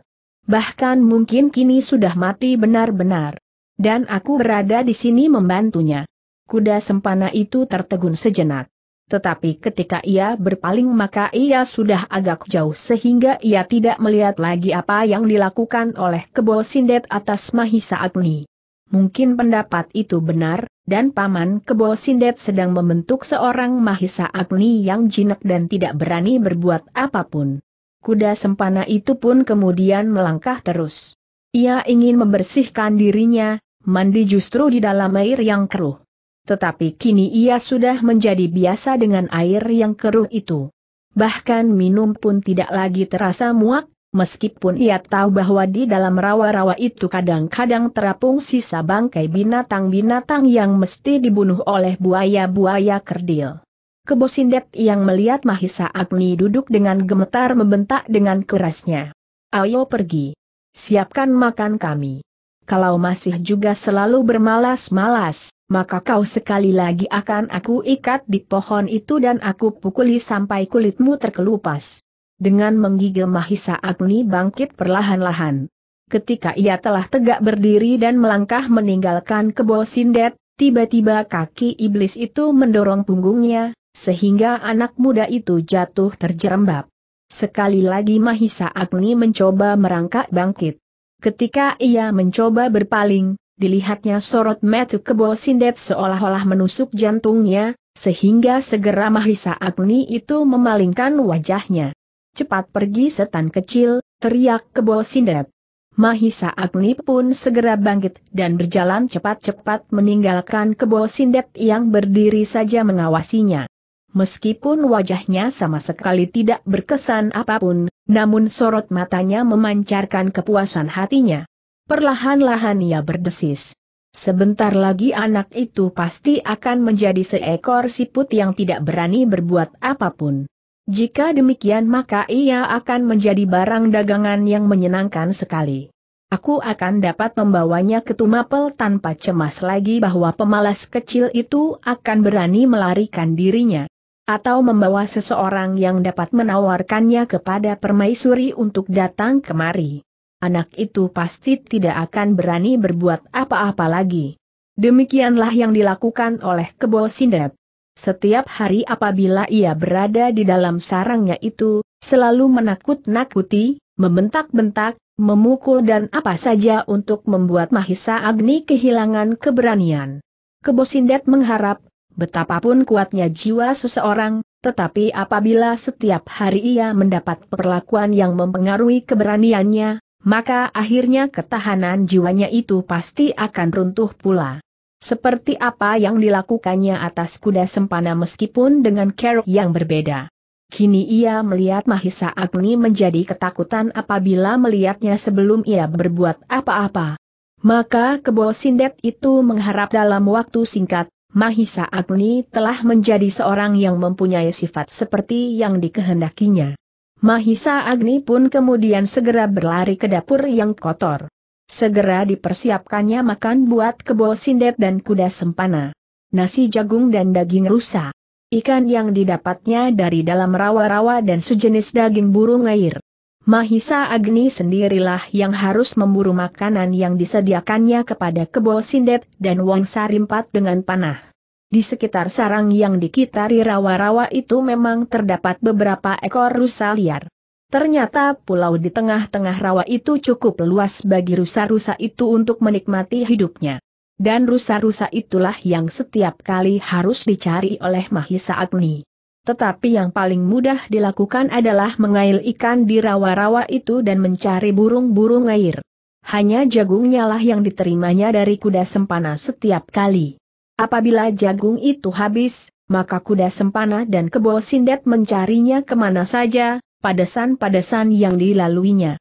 Hidup yang demikian itu harus dijalani oleh Mahisa Agni tanpa batas, kapan ia dapat lepas daripadanya, Untunglah bahwa kebo sindet dan kuda sempana jarang berada di sarang mereka.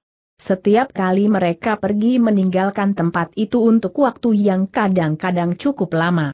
Secepat-cepatnya tiga empat hari mereka baru kembali, dan tinggal di tempat itu untuk waktu yang sama. Ketika kemudian kebo sindet dan kuda sempana makan, maka Mahisa Agni harus duduk di dekat mereka.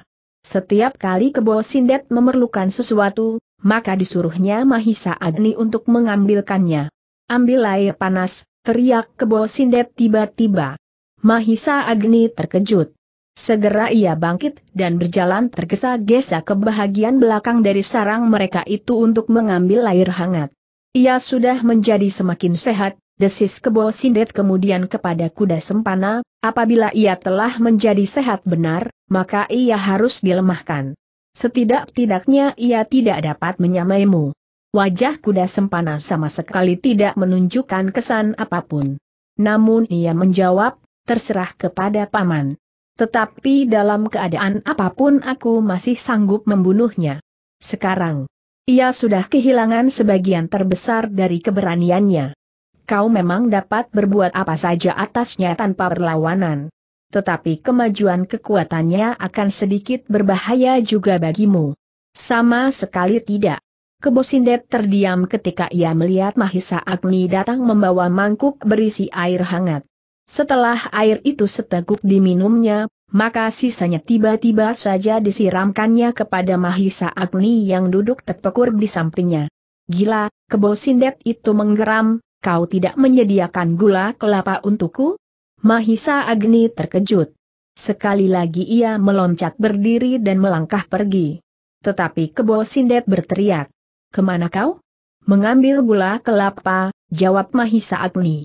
Kau memang gila. Kau lihat, bahwa air panas itu telah habis seluruhnya. Mahisa Agni berdiri termangu-mangu. Ia tidak tahu apa yang harus segera dilakukan.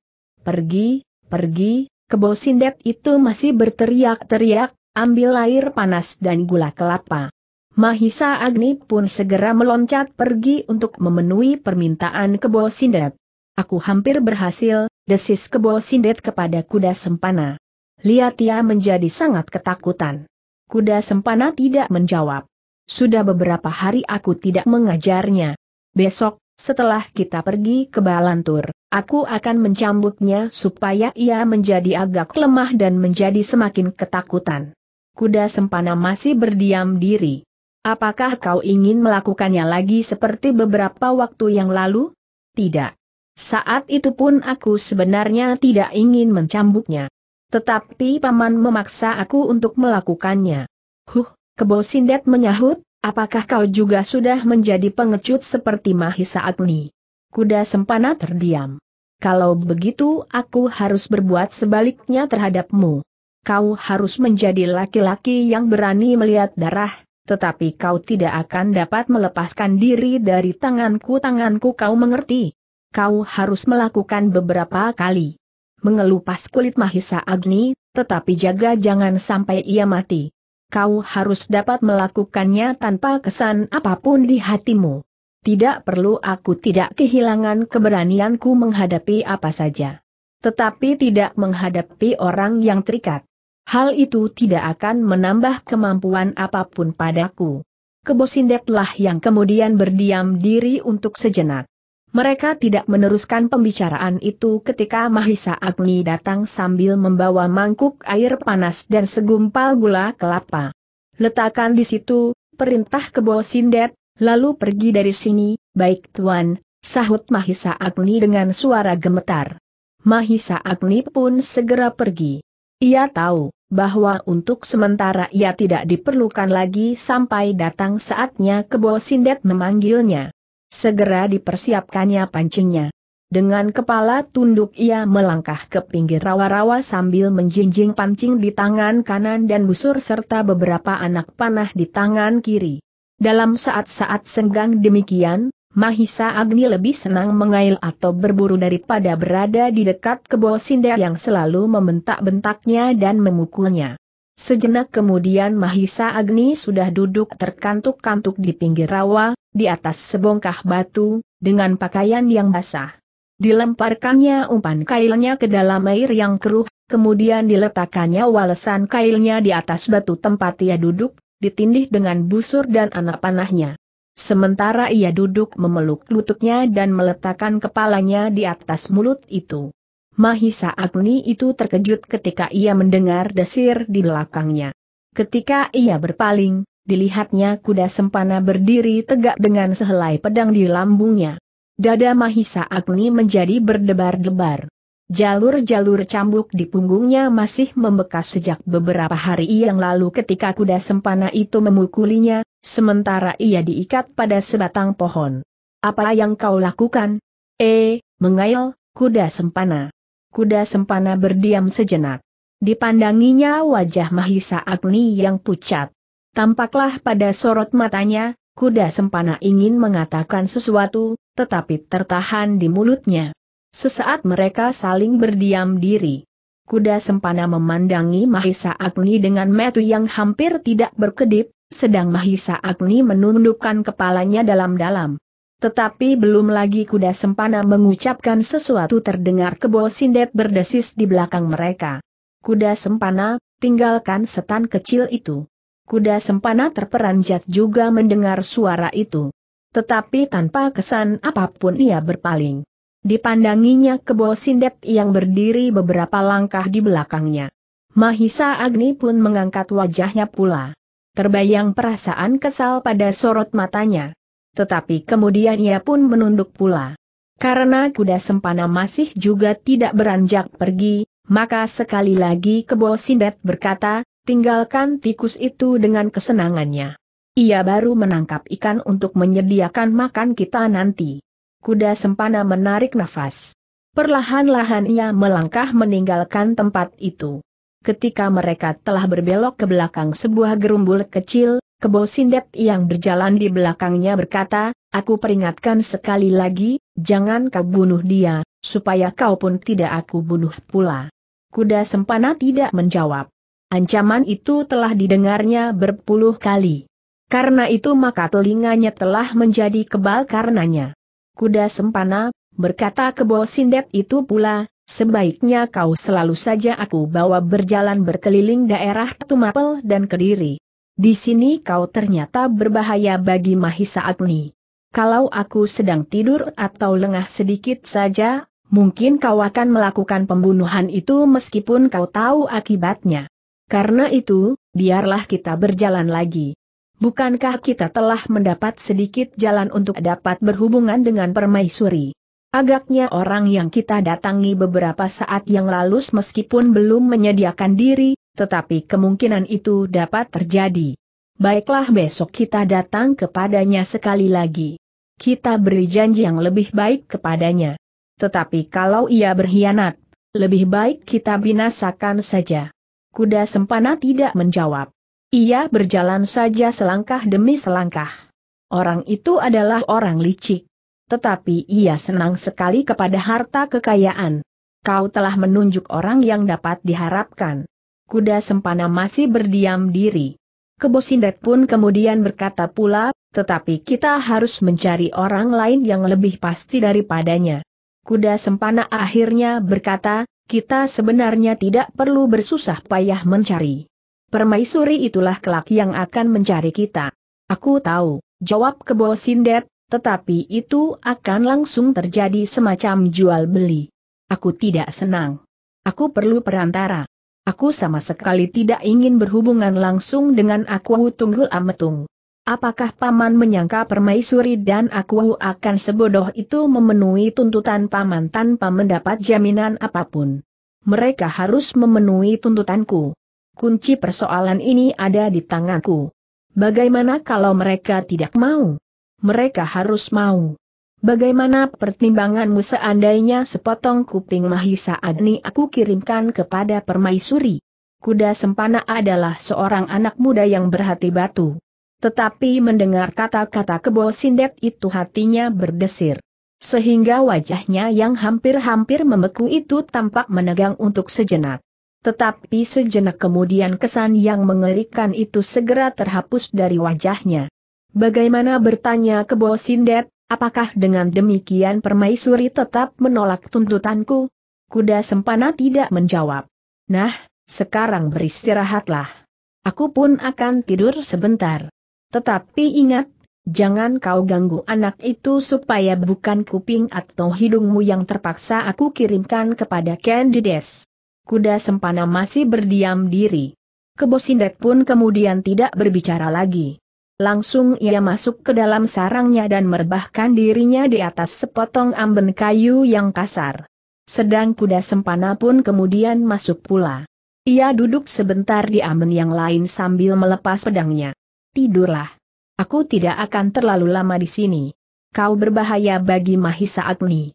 Lagi pula aku ingin persoalan anak itu segera selesai, supaya kita tidak terlampau lama memeliharanya. Kita harus segera menemukan orang yang dapat dipercaya untuk membicarakan masalah jual beli ini. Kau harus sedikit mempergunakan otakmu. Bukankah kau bekas seorang pelayan dalam, sehingga sebenarnya terlampau banyak orang yang seharusnya kau kenal untuk kepentingan ini? Kuda sempana tidak menjawab. Direbahkannya dirinya dan dicobanya untuk menghentikan angan-angannya. Ia ingin tidur. Tidur sepuas-puasnya. Hari-hari yang demikian sangat menjesakkan napas Mahisa Agni. Pada saat-saat kebo sindet dan kuda sempana ada di sorangnya. Banyak sekali yang harus dilakukannya. Bahkan hampir-hampir ia tidak sempat berbuat apa-apa. Menyediakan makanan, kemudian mencuci mangkuk dan alat-alat, merebus air, dan sisa waktunya dipergunakan untuk berburu atau mengail. Apabila ia tidak mendapat buruan cukup, maka tubuhnya pasti akan menjadi babak belur. Hal yang demikian itu hampir-hampir tidak dapat masuk akal kuda sempana. Pertanyaan tentang Mahisa Agni selalu saja menyelimutinya. Seperti pertanyaan tentang dirinya sendiri. Dengan sadar kuda sempana merasa bahwa ia sudah tidak mempunyai minat untuk berbuat sesuatu. Ia kini tinggal menurut saja perintah. Apa pun yang diberikan kepadanya oleh Kebo Sindet. Semua keinginan dan cita-cita untuk dirinya sendiri seolah-olah telah mati. Kuda sempana dan kebo sindet itu pun kemudian tertidur pula. Dalam saat-saat yang demikian, di masa-masa sebelumnya tumbuh di dalam angan-angan Mahisa Agni untuk membunuh saja keduanya. Tetapi Kebo Sindet adalah orang yang luar biasa, sehingga langkahnya betapapun lambatnya pasti akan membangunkannya. Apalagi di dalam sarang itu terdapat berbagai macam barang-barang yang terbujur lintang tidak keruan. Kayu-kayu dan bambu-bambu. Geledek dan barang-barang pecah belah yang berserakan. Tetapi lambat laun keinginan itu pun padam dengan sendirinya, sehingga Mahisa Agni sama sekali-sekali belum pernah melakukan percobaan itu. Kebosindet sendiri merasa yakin bahwa Mahisa Agni tidak akan berani berbuat sesuatu. Semula ia pun memperhitungkan pula kemungkinan itu, sehingga beberapa kali ia berpura-pura tidur di tempat yang mudah sekali didatangi oleh Mahisa Agni seandainya ia ingin melakukan percobaan untuk membunuhnya. Tetapi percobaan itu sama sekali tidak pernah terjadi, sehingga Kebo Sindet akhirnya mengambil kesimpulan bahwa Mahisa Agni tidak akan berani melakukannya. Apalagi setelah anak itu menjadi jinak. Kali ini seperti biasanya, Kebo Sindet tidak terlampau lama berada di sarangnya yang menjemukan itu. Menjemukan bagi Kebo Sindet sendiri. Sepeninggal adiknya, ia lebih suka merantau. Mendatangi padesan-padesan dan kampung-kampung. Masuk keluar warung tanpa mempersoalkan uang untuk membayarnya. Berjudi bersama-sama dengan orang-orang jahat dan kasar seperti dirinya sendiri. Berkelahi dan saling membunuh tetapi tidak seorang pun yang pernah dijumpainya dapat mengalahkannya. Kadang-kadang di dalam lingkaran judi orang-orang yang belum mengenalnya berani menentang kehendaknya. Tetapi biasanya orang itu akan kehilangan semuanya. Uang dan barang-barangnya. Bahkan nyawanya. Ketika matahari mulai melontarkan sinarnya yang kuning kemerah-merahan, maka kebo sindet dan kuda sempana telah siap untuk meninggalkan sarangnya yang kotor itu, setelah tiga hari ia tinggal. Meskipun rawa-rawa di sekitar sarangnya masih disaput oleh kabut yang rapat, namun kebo sindet sama sekali tidak menjadi cemas bahwa ia akan terjerumus ke dalam lumpur di dalam dasar rawa-rawa itu. Ia sudah begitu hafalnya. Bahkan sambil berlari pun ia dapat melintasinya tanpa terperosok ke dalam lumpur. Kuda yang dipergunakan oleh Kebo Sindet pun lambat laun menjadi hafal pula seperti penunggangnya. Ke mana kakinya harus melangkah supaya ia tidak tersesat. Dengan demikian maka Kebo Sindet hampir-hampir tidak perlu lagi mengendalikan kudanya di sepanjang rawa-rawa itu, betapa tebalnya kabut dan bahkan di malam hari sekalipun. Hidung kuda itu seolah-olah telah mendapatkan sebuah mata yang dapat melihat langsung menembus air yang berwarna lumpur itu, melihat sampai ke dasarnya. Ketika mereka berdua, Kebo Sindet dan kuda sempana sudah berada di punggung kudanya, maka berkatalah iblis dari kemundungan itu kepada Mahisa Agni. Hi, pemalas. Kau harus menunggu rumah ini. Pelihara baik-baik. Aku akan pergi untuk sepekan atau dua pekan mencari orang yang sudi mengambilmu dari tempat ini. Kau sudah terlampau lama mengotori rumahku. Seharusnya kau segera mendapat tebusan. Tetapi agaknya tidak seorang pun di dunia ini yang mempedulikanmu. Adikmu, apalagi Tunggul Ametung. Mahisa Agni tidak menjawab. Tetapi kepala tertunduk dalam-dalam. Hi, apa katamu? Ya, ya, Aku mengerti, jawab Agni tergagap. Apa yang kau mengerti? Menjaga dan memelihara rumah ini baik-baik, hanya itu? Mahisa Agni terdiam. Ia tidak mengerti apa yang harus dikatakannya. Apa Hirkebo Sindet tiba-tiba berteriak. Mahisa Agni masih terbungkam. Ia masih belum mengerti maksud Kebo Sindet itu. Sekali lagi Mahisa Agni mendengar kebo Sindet berteriak-teriak. Ia melihat kuda yang ditungganginya bergerak maju ke arahnya, dan sejenak kemudian ia terdorong jatuh karena sentuhan kaki iblis yang garang itu. Pemalas yang bodoh. Kau harus berkata bahwa memang tidak ada seorang pun yang mempedulikan kau lagi. Kau tinggal menunggu nasib jelek yang bakal datang. Apabila aku tidak segera dapat berhubungan dengan orang yang masih bersedia mengambilmu, maka kupingmu sepotong-sepotong akan aku kirimkan kepada Candides. Kemudian hidung, tangan dan kaki-kakimu sebelum kau aku lemparkan ke rawa-rawa itu, kecuali kepalamu yang akan aku simpan sebagai pesugihan. Tertatih-tatih Mahisa Agni mencoba berdiri.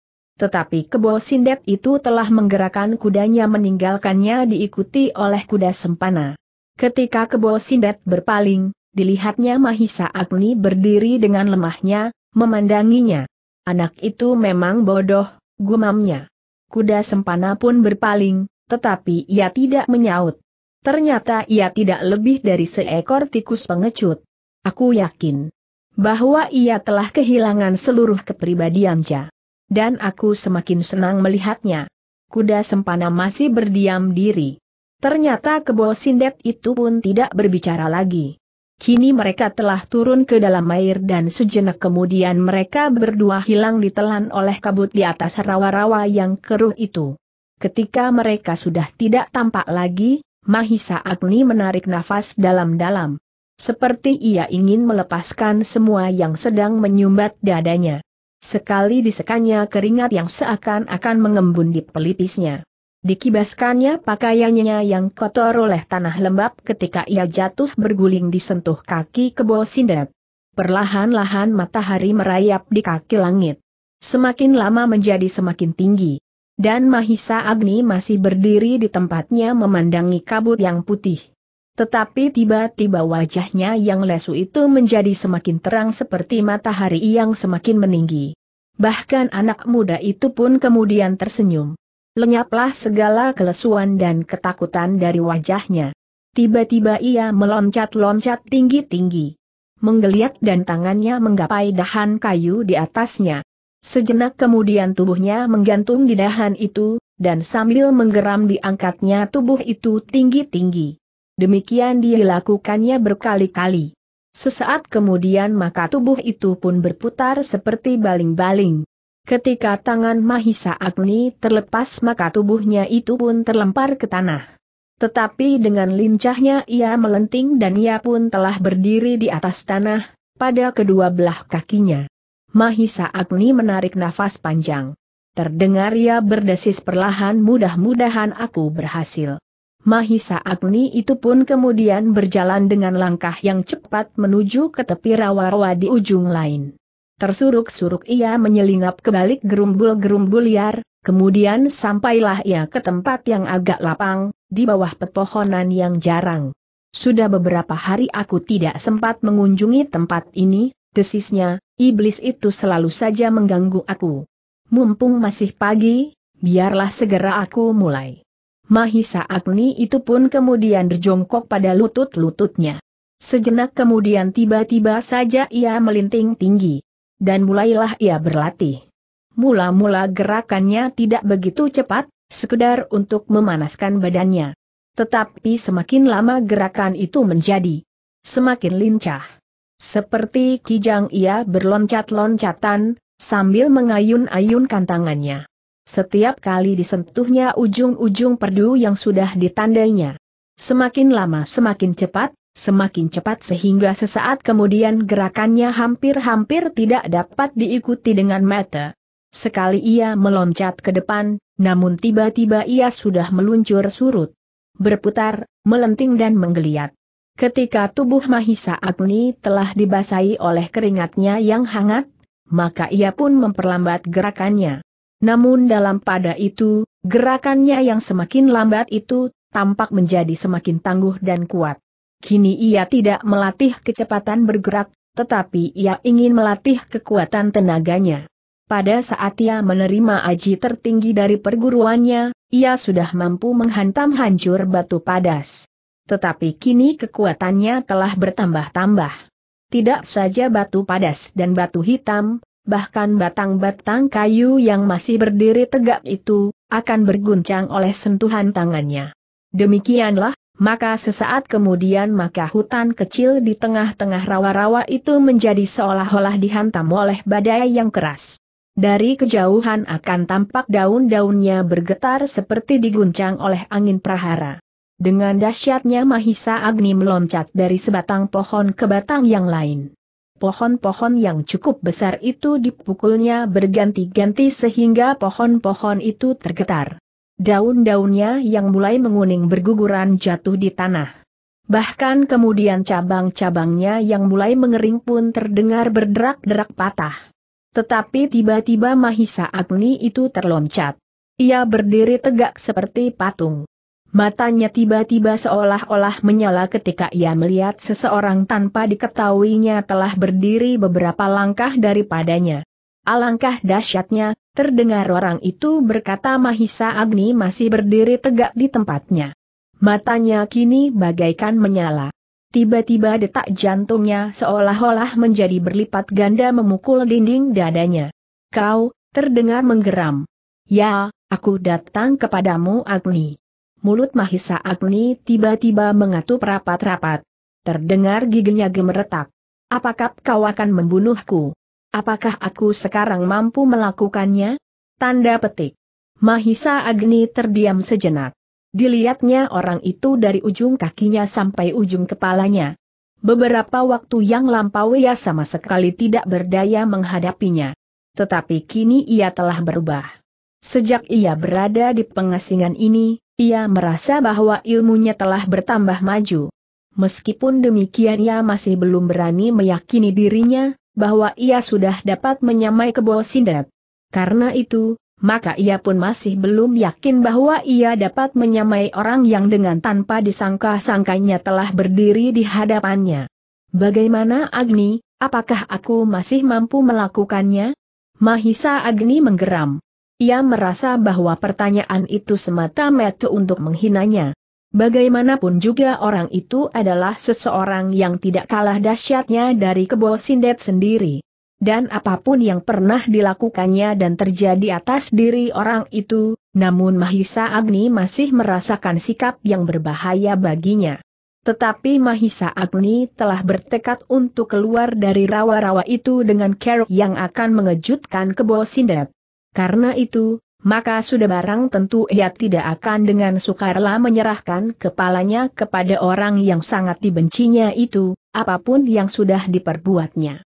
Apakah yang kau kehendaki sekarang bertanya Mahisa Agni, apakah kau masih belum puas melihat aku berada di sarang iblis ini? Meskipun aku tidak pasti, tetapi aku mendengar sedikit banyak tentang kau dan Kebo Sindet. Percakapan-percakapan yang aku dengar dan kenyataan yang aku lihat. Apakah kau masih menganggap aku sebagai barang yang sangat berharga untuk kau? Perbutkan kenapa kau tidak datang menemui Kebo Sindet langsung? Mungkin kau pernah mendengar percakapan kuda sempana dan Kebo Sindet, mungkin dari orang lain. Bagaimana tanggapanmu sekarang tentang diriku? Apakah sekian lama kau di sini, maka kau tidak lagi dapat melihat sesuatu di luar daerah rawa-rawa ini? Mahisa Agni tidak segera menjawab.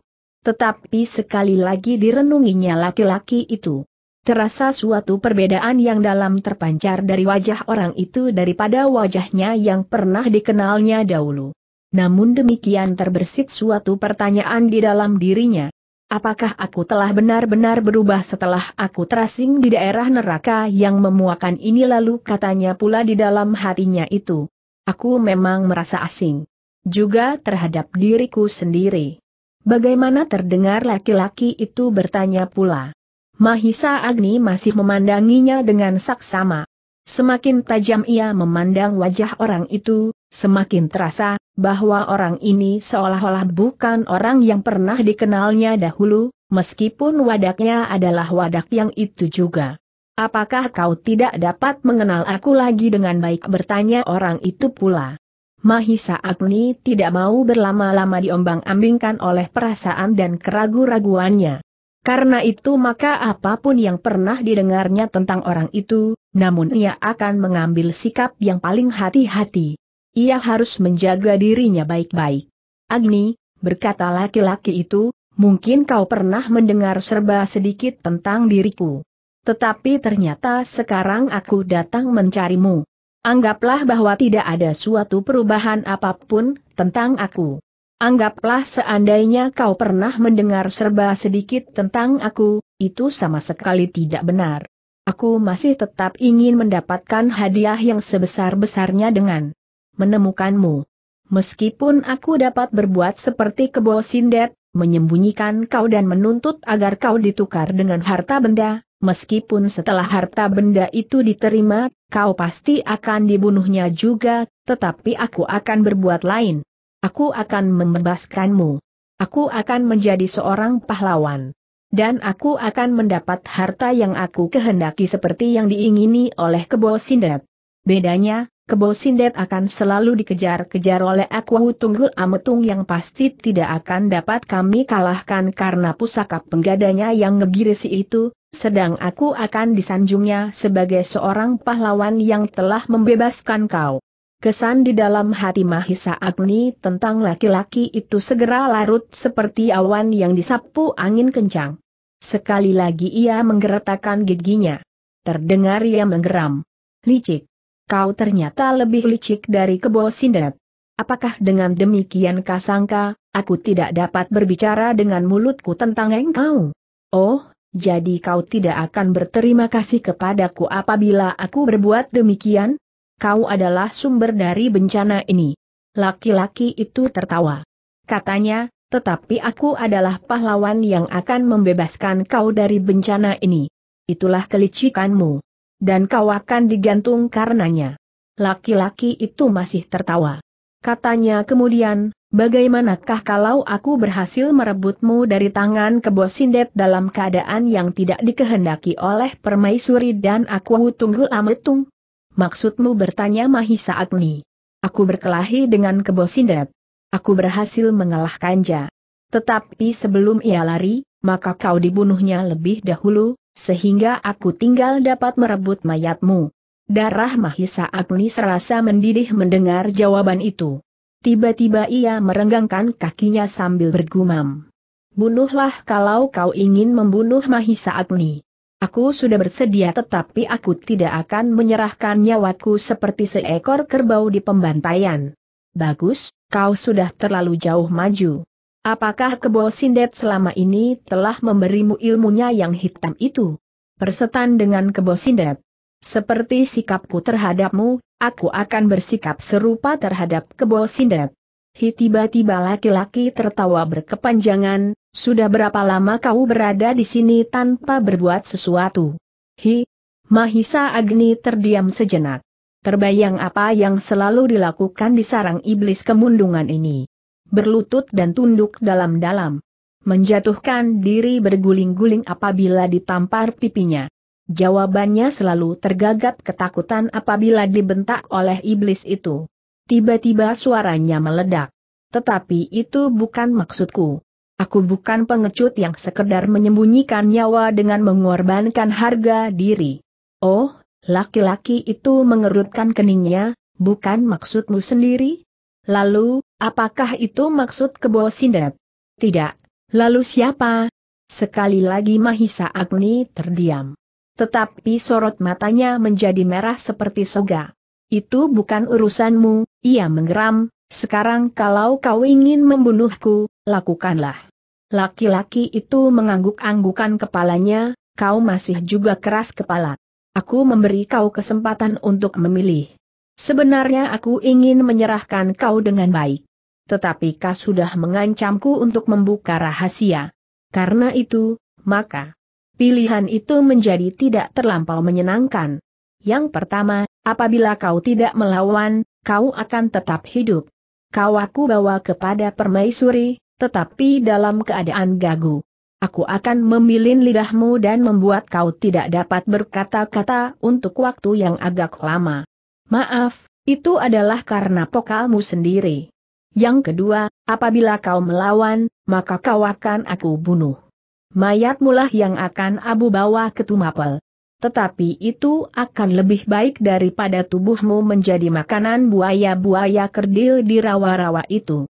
Tubuh Mahisa Agni kemudian menggigil karena kemarahan yang sudah hampir tidak tertahankan lagi. Kebenciannya kepada orang itu telah mencapai puncaknya. Namun ia masih tetap sadar dengan siapa ia berhadapan. Karena itu, maka ia tidak mau berbuat tergesa-gesa. Ia harus berhati-hati sekali. Dadanya berdentangan ketika ia mendengar orang itu berkata, Nah, Agni, manakah yang kau pilih di antara keduanya? Jangan banyak bicara lagi empu. Kalau kau ingin membunuh cepatlah. Tetapi kau baru sadar pula bahwa aku pun ingin membunuhmu. Laki-laki itu tertawa. Katanya, apakah dengan permainan loncat-loncatan itu kau merasa mampu mengimbangi aku kini? Persetan, jawab Mahisa Agni, ayo berbuatlah. Nanti dulu. Aku senang melihat kau ketakutan. Aku tidak ingin cepat-cepat berbuat sesuatu. Hampir saja Mahisa Agni meloncat menerkam laki-laki itu. Tetapi beruntunglah, bahwa bekalnya kini menjadi semakin banyak untuk menghadapi keadaan yang demikian.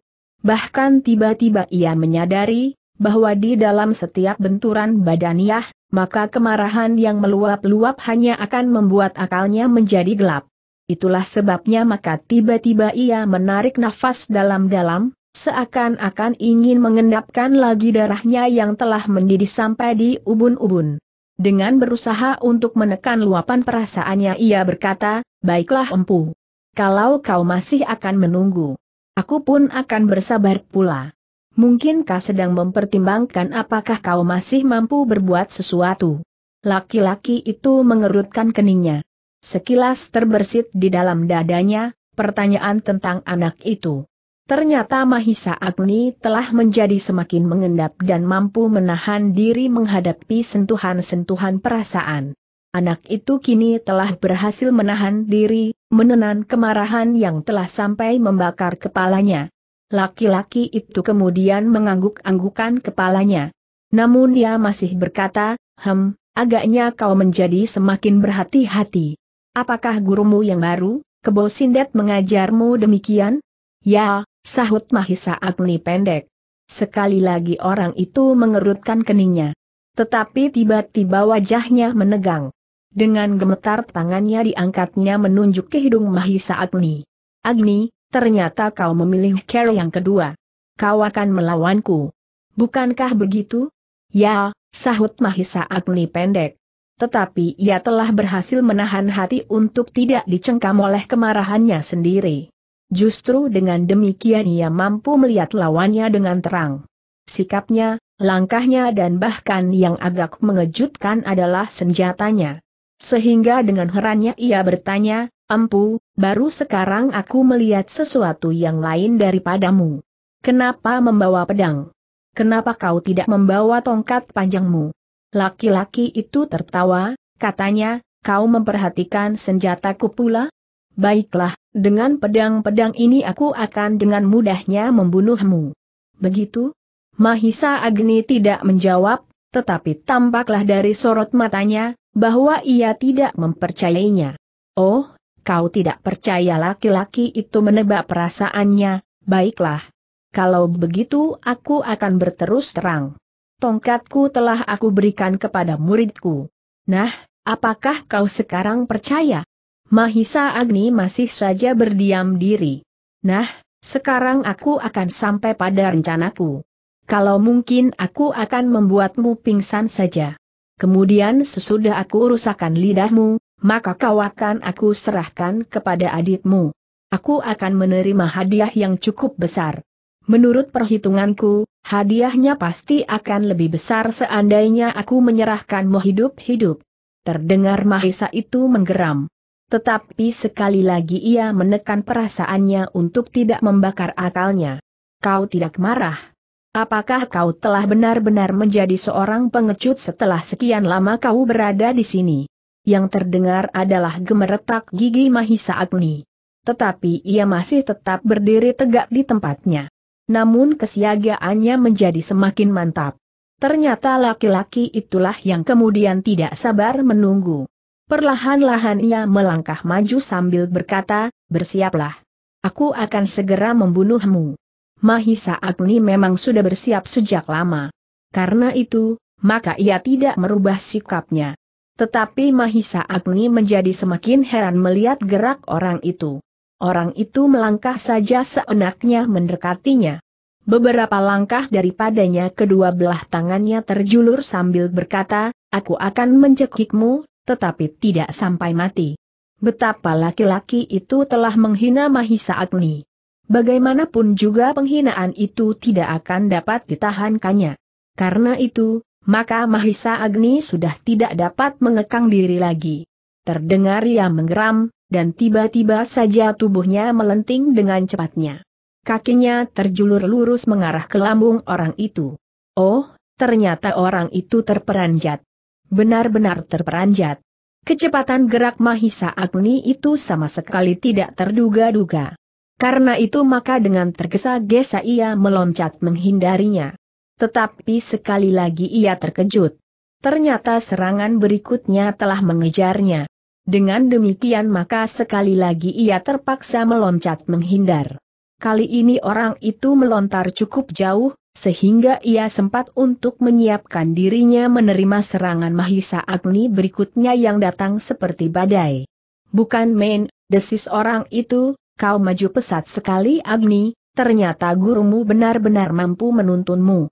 Kau akan menjadi murid kebo sindet yang jauh lebih baik dari kuda sempana. Mahisa Agni sama sekali tidak bernafsu untuk menjawab. Namun geraknya menjadi lebih lincah dan mantap. Serangannya beruntun berurutan sehingga lawannya terpaksa meloncat surut beberapa kali. Tetapi Madisa Agni mengerti, bahwa tidak hanya sekian jauh nilai lawannya. Itulah sebabnya, maka ia pun telah bersiap untuk bertempur dalam tataran yang lebih tinggi. Ternyata perhitungan Mahisa Agni itu tidak meleset. Sesaat kemudian lawannya tidak mau lagi hanya berloncatan mundur dan menghindar. Pada saatnya, maka mulailah lawannya itu melakukan serangan untuk mematahkan serangan-serangan Mahisa Agni. Dengan demikian maka perkelahian itu menjadi semakin sengit. Masing-masing mencoba mencari kelemahan lawannya. Dengan gerak yang berubah-ubah Mahisa Agni mencoba untuk mendesak lawannya. Namun lawannya pun memiliki pengalaman yang jauh lebih banyak daripadanya sehingga mampu untuk melakukan gerak memotong hampir setiap serangan Mahisa Agni. Meskipun demikian, ternyata bahwa Mahisa Agni kini bukan Mahisa Agni beberapa waktu yang lampau. Meskipun belum sampai pada tataran kebo Sindet, tetapi lawan Mahisa Agni itu tidak dapat menguasainya sepenuhnya. Setiap kali ia dikejutkan oleh gerak Mahisa Agni yang terlampau cepat. Terlampau cepat menurut perhitungannya, bahwa gerak itu dapat dilakukan oleh Mahisa Agni. Anak ini benar luar biasa, berkata laki-laki itu di dalam hatinya, ia sudah mendapat kemajuan yang tidak aku duga. Dengan demikian maka laki-laki itu pun harus mengerahkan sebagian besar dari tenaga dan kemampuannya untuk melawan Mahisa Agni itu. Perkelahian itu semakin seru dan seru. Mereka berloncatan seperti ayam-ayam jantan sedang berlaga. Melontar dan menyerang dengan dahsyatnya. Sentuhan-sentuhan tangan mereka pada pepohonan telah menimbulkan goncangan-goncangan yang keras, sehingga ranting-ranting dan daun-daun yang sudah mulai kuning berguguran di tanah, seolah-olah hujan bunga yang turun dari langit, mengagumi dua orang yang sedang bertempur dengan dahsyatnya itu. Hem, berkata laki-laki itu di dalam hati, aku kini benar-benar tidak dapat berbuat sekehendak hatiku atasnya. Kini bukan akulah yang menentukan bentuk dari perkelahian ini. Tetapi kekuatan dan kecepatannya bergerak benar-benar merupakan unsur yang tidak dapat diabaikan. Namun sementara itu Mahisa Agni pun menyadari, bahwa ilmunya masih belum dapat menyamai ilmu lawannya. Betapa ia mengerahkan segenap kemampuannya, namun ia merasa, bahwa akhirnya dengan cara yang demikian, ia pasti tidak akan dapat berbuat lebih banyak lagi. Karena itu ia harus berbuat lain. Ia harus mencari care untuk setidak-tidaknya memperpanjang waktu perlawanannya, sehingga ia menemukan kesempatan untuk melepaskan diri atau mati. Pada saat lawannya kemudian mengerahkan tenaganya, maka terasa betapa Mahisa Agni menjadi semakin terdesak. Kini anak muda itulah yang terpaksa harus meloncat surut setiap kali. Menghindari serangan yang semakin lama semakin dahsyat. Ketika Mahisa Agni merasa bahwa ia sudah tidak akan tahan lebih lama dengan cara itu, maka tiba-tiba ia melenting tinggi. Digapainya sepotong sulur batang preh yang berjuntai hampir sampai ke tanah. Dengan kekuatan yang luar biasa direnggutnya sulur preh itu sehingga berderak patah. Hi, teriak lawannya berkelahi, apakah yang sedang kau lakukan? Tetapi Mahisa Agni tidak menyaut. Akar preh itu diputar di atas kepalanya seperti baling-baling, kemudian anak muda itu meloncat maju dengan garangnya. Kini sekali lagi Mahisa Agni melibat lawannya dengan akar preh yang dipergunakannya sebagai senjata.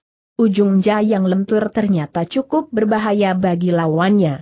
Agaknya tangan Mahisa Agni benar-benar mampu menguasai senjatanya, sehingga sulur preh itu rasa-rasanya mempunyai mata yang selalu dapat melihat tempat-tempat yang lemah dan berbahaya.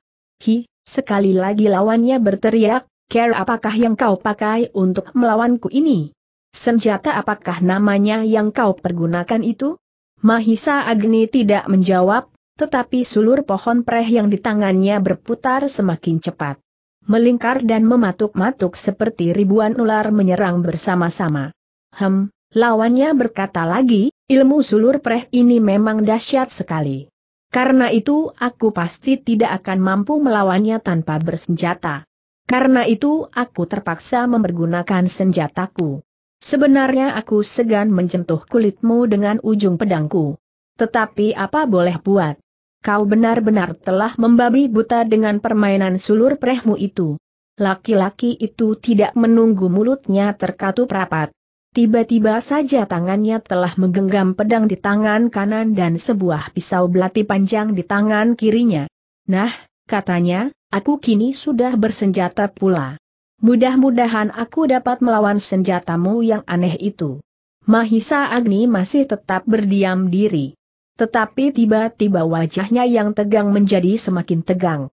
Ternyata orang yang biasa mempergunakan sebatang tongkat panjang itu, mampu mempermainkannya dengan dahsyatnya.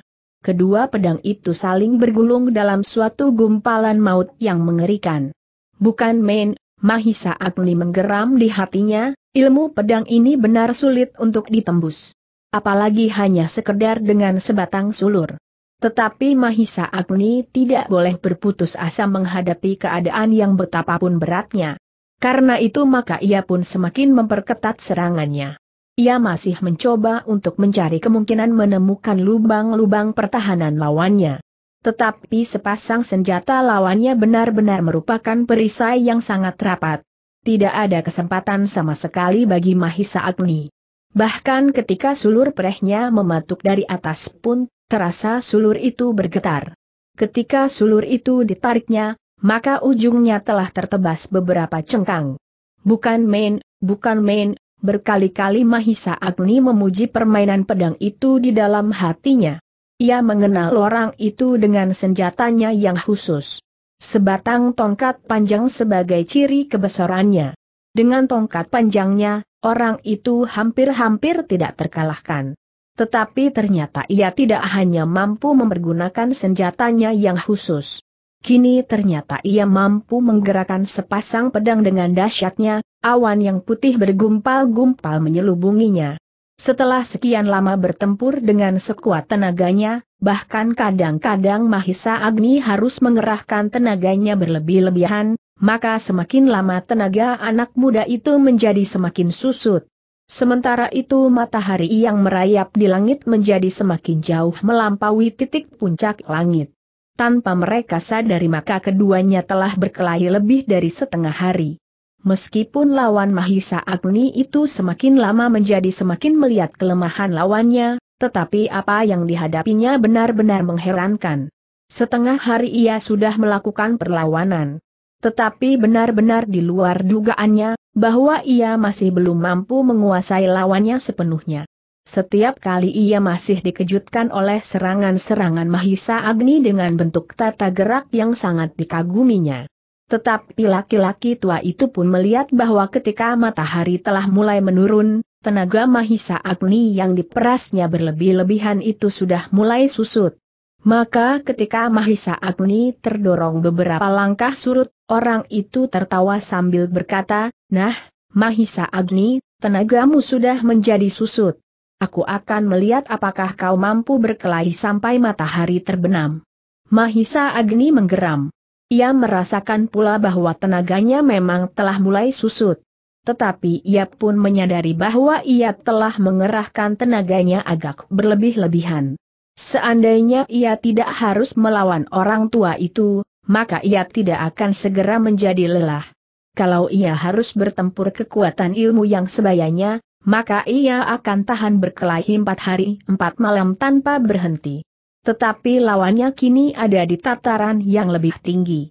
Dengan demikian maka ia harus berbuat terlampau banyak, meskipun perlawanan yang diberikan kali ini jauh lebih banyak dari perlawanannya pada masa-masa lampau.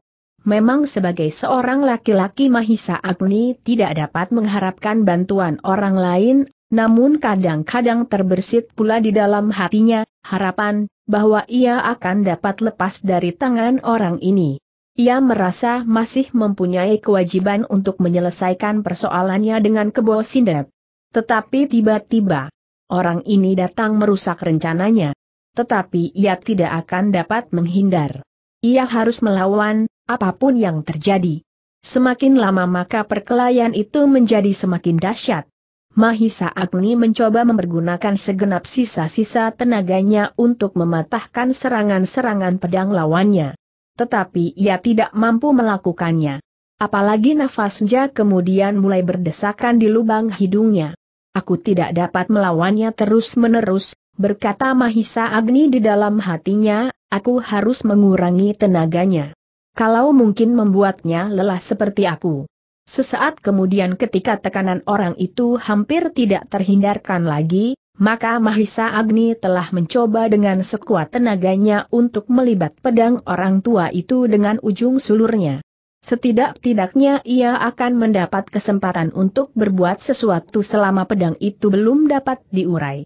Namun alangkah terkejut Mahisa Agni ketika sentuhan senjatanya atas pedang lawannya, telah menggetarkan tangannya. Sejenak kemudian ia merasakan suatu tarikan yang keras. Meskipun Mahisa Agni tidak melepaskan pangkal senjatanya, tetapi kemudian disadarinya bahwa senjatanya telah terpotong hampir separuh mengalami kejadian itu, maka tidak ada jalan lain baginya daripada menghindar sejenak. Karena itu, maka segera ia melontar beberapa langkah surut. Kini tidak ada jalan lain baginya selain mempergunakan care perlawanan yang terakhir. Setidak-tidaknya ia akan membuat lawannya menjadi lelah. Apalagi setelah senjatanya terputus hampir separuh. Ia sudah tidak ingin lagi mempergunakan senjata serupa dengan merenggutnya lagi dari pohon preh di samping tempat mereka bertempur. Senjata yang serupa ternyata tidak akan banyak bermanfaat untuk melawan ilmu pedang lawannya yang dahsyat itu. Mahisa Agni pun sama sekali tidak ingin mempergunakan ilmu pamungkas senja. Ia menyadari bahwa hal itu pun tidak akan banyak terarti. Bahkan benturan antara aji tertingginya dengan ilmu laki. Laki itu pasti tidak akan menguntungkannya lagi, Mahisa Agni terpaksa mengaguminya. Sepasang senjata itu pun seolah-olah memiliki mata yang tajam, yang dapat melihat setiap batu yang menyambarnya. Setiap kali terdengarlah senjata-senjata itu berdentangan. Setiap kali senjata-senjata itu membentur batu-batu kerikil yang dilemparkan oleh Mahisa Agni. Hi, Mahisa Agni, teriak laki-laki tua itu, ilmu apakah yang kau pergunakan ini? Ilmu batu kerikil? Mahisa Agni tidak menjawab. Dipungutinya batu-batu kerikil yang berserakan. Satu-satu batu itu melontar dari tangannya, seperti batu-batu itu sendiri yang berloncatan. Apakah akan kau kuras habis batu-batu kerikil di kandang kebo Sindet? Mahisa Agni masih tetap membisu. Tetapi tangannya semakin cepat bergerak, dan batu-batu kerikil pun semakin banyak berloncatan. Ternyata kah seperti juga pamanmu Empu Gandring, lebih senang melempar-lempar lawannya dengan batu-batu kerikil, berkata laki-laki tua itu sambil berloncatan dan memutar senjatanya menangkis serangan-serangan Mahisa Agni. Tetapi Mahisa Agni seakan-akan tidak mempedulikannya. Ia masih sibuk melempar lawannya dengan batu-batu kecil. Namun, dengan demikian usahanya ternyata cukup berhasil. Ia pasti akan dapat membuat lawannya menjadi lelah. Dengan demikian maka ada suatu saat ia akan dapat berbuat sesuatu, memberikan serangan-serangan yang sebenarnya, yang akan dapat mempengaruhi lawannya yang perkasa itu. Sejenak orang tua itu masih terpaksa meloncat-loncat sambil menangkis batu-batu yang dilemparkan oleh Mahisa Agni dengan senjatanya. Ia tidak dapat membiarkan batu-batu itu menyentuh tubuhnya. Benturan-benturan pada senjatanya memberitahukan kepadanya bahwa tenaga Mahisa Agni ternyata cukup kuat, sehingga akan mampu menyakitinya apabila lemparan itu dapat mengenainya. Apakah kau tidak dapat berbuat lain daripada dengan ilmu kerikilmu itu? Bertanya orang tua itu sambil melontar-lontarkan dirinya dan memutar senjatanya. Mahisa Agni masih saja tetap berdiam diri. Bahkan ia menjadi semakin cepat melontar-lontarkan batu kerikilnya. Kini ia telah berjongkok. Tangannya semakin cepat bergerak, supaya orang tua itu semakin cepat menjadi lelah.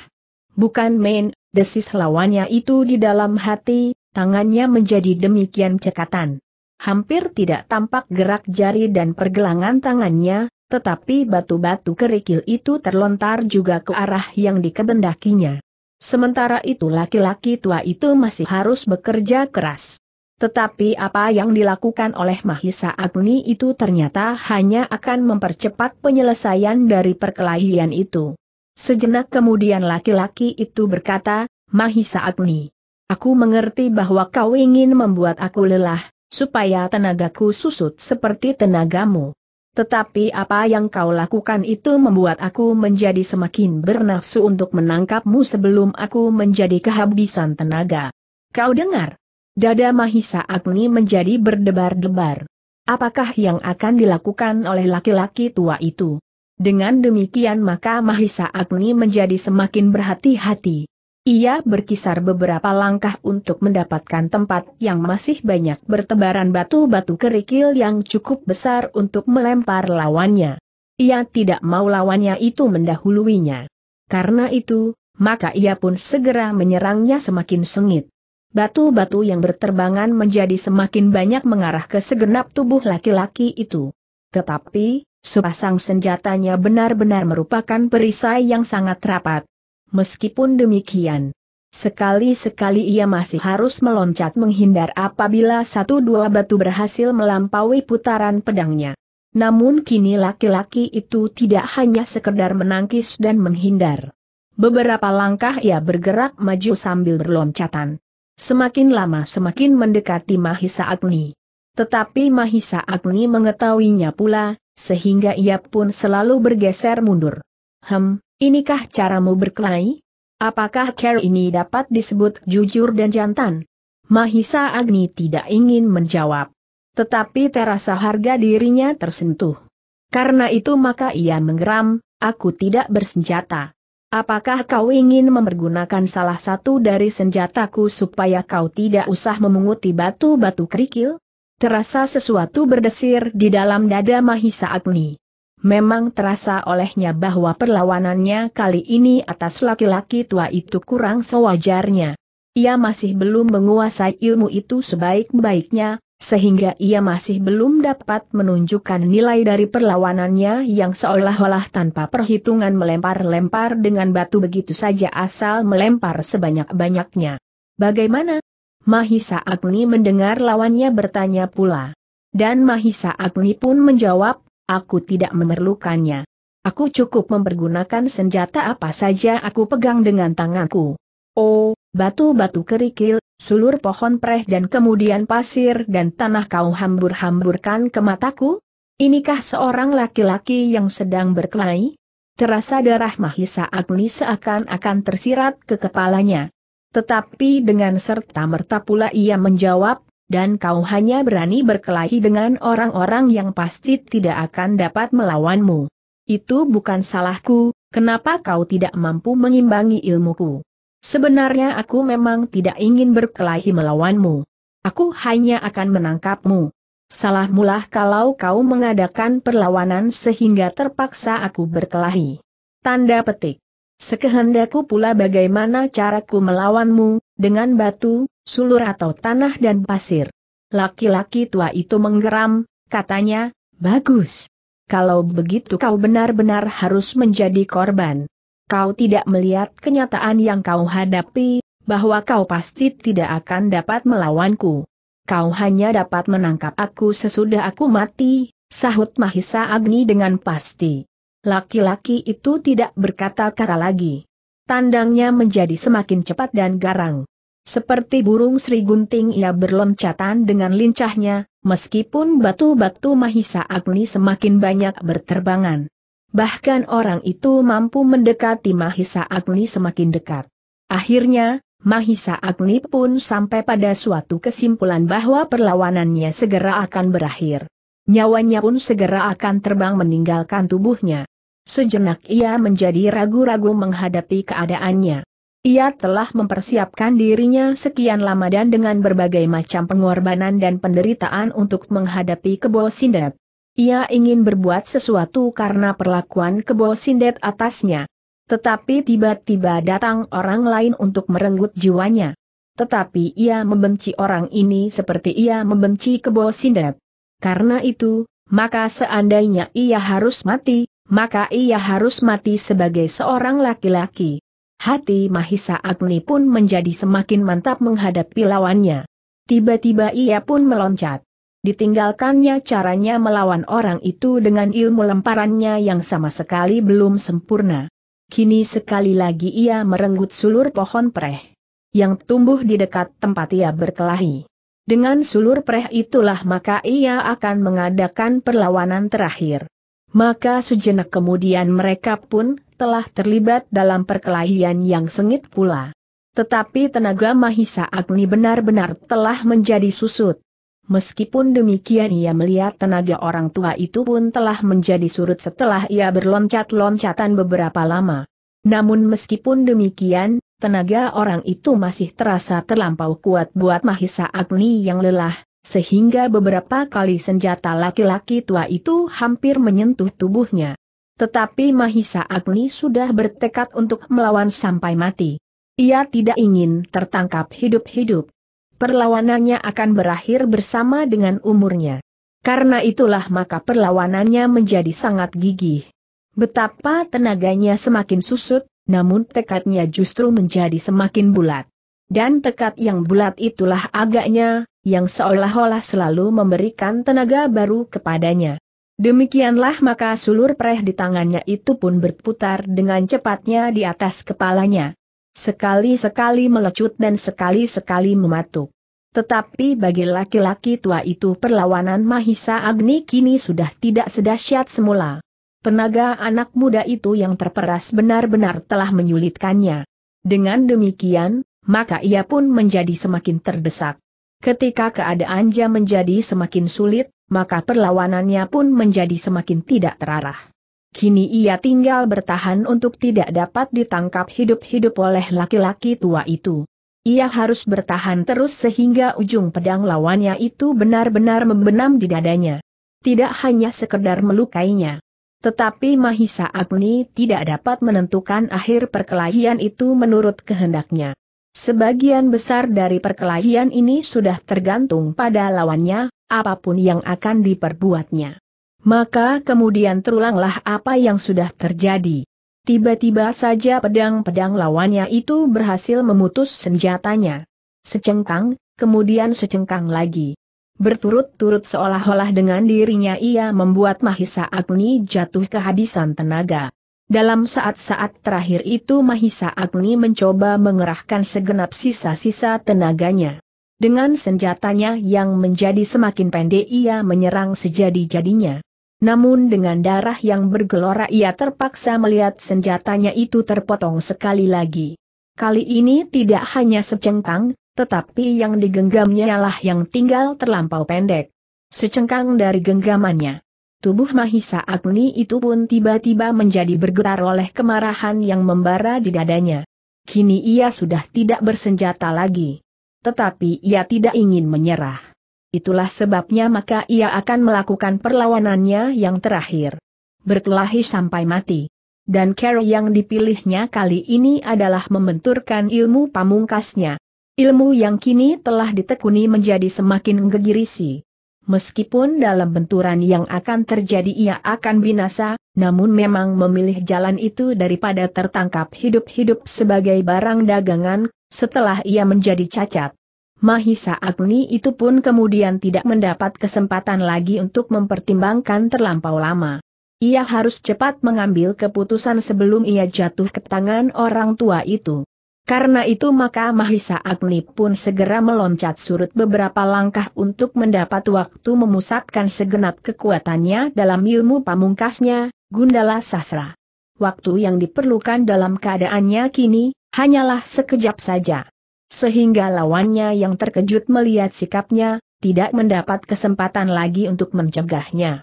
Ketika Mahisa Agni telah siap dengan kekuatan terakhirnya, maka segera ia meloncat maju, mengayunkan tangannya untuk membenturkan kekuatan Aji Gundala Sasra. Ia menyangka bahwa lawannya pun pasti akan melepaskan Aji Pamungkas Japula. Aji yang tidak kalah dahsyatnya, Kalabama. Tetapi Mahisa Agni terkejut ketika ia melihat lawannya itu sama sekali tidak bersikap melawan serangannya dengan sebuah benturan yang akan dapat mematikannya. Ia melihat lawannya terkejut. Tetapi kemudian justru melepaskan kedua senjatanya dan menyilangkan tangannya. Namun Mahisa Agni sudah tidak sempat membuat penilaian lagi. Loncatannya yang terlampau cepat seperti tatit yang menyambar di langit tidak memberinya kesempatan untuk menjawab pertanyaan yang tumbuh di dalam dadanya. Sejenak kemudian tangannya telah terayun dengan derasnya, langsung mengenai pundak lawannya yang berdiri tegang sambil menyilangkan tangannya di dadanya. Ternyata lawannya benar-benar tidak berusaha membentur serangannya. Meskipun demikian, tetapi lawannya itu pun tidak membiarkan tubuhnya lumat oleh Aja Gundala Sasra. Ketika tangan Mahisa Agni membentur tubuh orang itu, maka terasa seolah-olah tangannya itu menyentuh seonggok baja yang tidak terduga betapa kerasnya. Mahisa Agni merasakan kekuatan yang tersalur pada tangannya itu menggelegak pada telapak tangannya. Kekuatan yang dilepaskan telah menyentak di dalam tubuhnya sendiri. Terasa sesuatu seakan-akan meledak di dalam dadanya cepat ia memusatkan segenap daya tahannya. Mencoba untuk menahan sentakan yang mengejut di dalam dirinya. Namun demikian Mahisa Agni itu pun terlempar surut beberapa langkah dan terbanting jatuh di tanah. Yang terakhir diingatnya adalah, bahwa tubuhnya serasa pecah karena kekuatan Aji Gundala Sasra. Tetapi itulah yang diharapkannya, daripada menjadi tangkapan hidup-hidup. Menjadi rebutan antara orang-orang jahat yang mencoba memperdagangkannya. Tetapi ternyata Mahisa Agni tidak mati. Mahisa Agni yang terlempar dan terbanting di tanah itu hanyalah sekedar pingsan karena lawannya dirinya tidak membentur serangannya, seandainya tidak demikian, maka akibatnya pun pasti akan berbeda. Sementara itu angin yang sejuk telah mengusap tubuh Mahisa Agni yang terbaring diam. Dedaunan yang bergerak-gerak di sekitarnya berdesir lembut, Seolah-olah sedang saling membisikan nama Mahisa Agni yang sedang pingsan itu. Namun angin yang segar yang mengalir perlahan-lahan telah menyegarkan tubuh Mahisa Agni yang sedang pingsan itu. Ia tidak tahu berapa lama ia berbaring diam.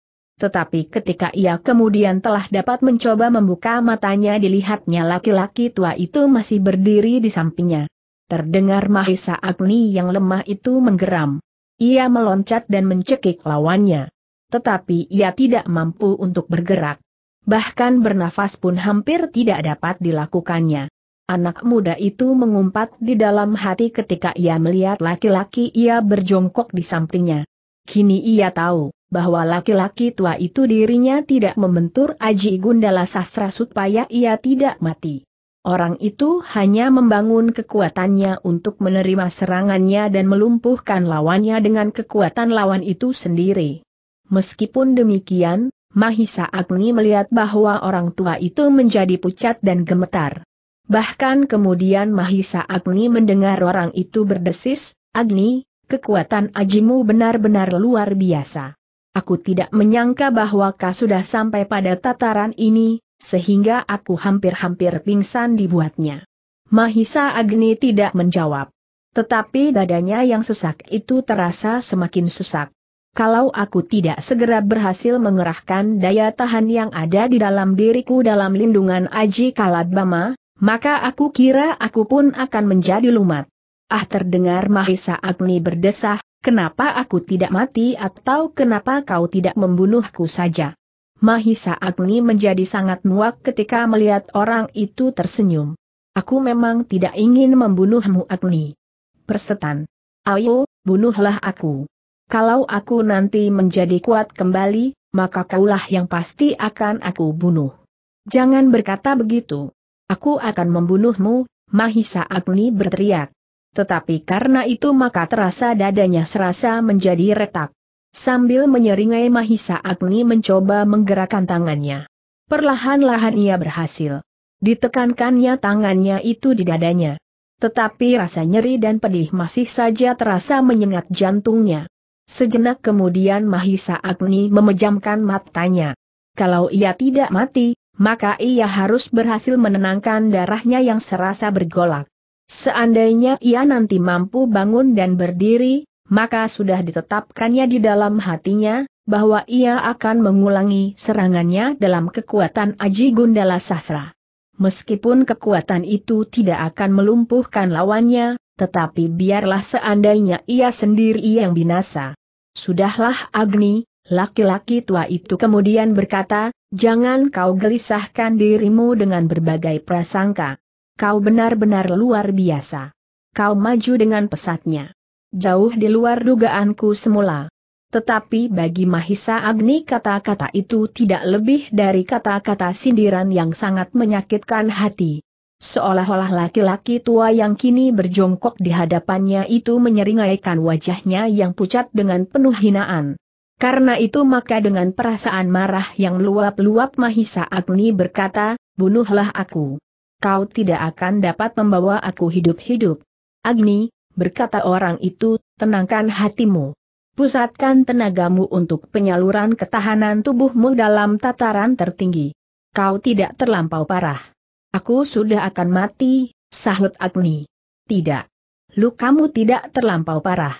Tetapi karena hatimu dibakar oleh kemarahan yang meluap-luap, maka kau tidak dapat memusatkan segenap kekuatan lahir dan batinmu. Tidak ada gunanya. Baiklah Agni kau tidak bersedia melakukannya karena kau melihat aku di sini. Tetapi biarlah orang lain menuntunmu untuk menyembuhkan luka-lukamu karena sentakan kekuatanmu itu sendiri. Mahisa Agni menjadi heran mendengar kata-kata orang tua itu. Tetapi belum lagi ia bertanya sesuatu, maka dilihatnya seseorang muncul dari balik gerumbul-gerumbul di sampingnya berbaring. Seorang tua yang ternyata berada di dekatnya dalam keadaannya itu. Guru, desisnya. Ya, Agni. Namun Mahisa Agni kemudian dibakar oleh keheranannya. Agaknya gurunya telah lama berada di tempat itu. Orang tua itu sama sekali tidak heran dan terkejut melihat kehadiran laki-laki tua yang telah melukainya. Kini orang tua itu, gurunya yang bernama Empu Purwa telah berjongkok pula di sampingnya, di sisi laki-laki tua yang melukainya itu. Dengan nada yang dalam gurunya berkata, pusatkan daya tahanmu Agni. Marilah aku bantu supaya luka-luka di dalam tubuhmu itu dapat berkurang. Wajah Mahisa Agni benar-benar diwarnai oleh keheranan yang memuncak. Tetapi ia tidak sempat bertanya. Dirasakannya gurunya memegang pergelangan tangannya. Kemudian berkata pula, Marilah Agni. Mahisa Agni pun segera memusatkan segenap kekuatan yang tersisa di dalam dirinya. Disalurkannya segenap kemampuan daya tahannya untuk melawan luka di dadanya. Terasa pula dari pergelangan tangannya seolah-olah tenaga yang segar mengalir ke segenap tubuhnya yang nyeri dan pedih. Mahisa Agni berusaha mengatur jalan pernafasannya. Perlahan-lahan. Dicobanya untuk menenangkan perasaannya yang masih saja bergolak namun kini gurunya ada di sampingnya, sehingga lambat laun ia dapat menjadi tenang dan dapat memusatkan pikiran perasaan dan setiap getaran di dalam dirinya, untuk menahankan luka di dalam dirinya. Apalagi saluran kekuatan gurunya kini telah menjalari urat-urat nadinya pula, sehingga dengan demikian maka tubuhnya menjadi semakin lama semakin segar pula.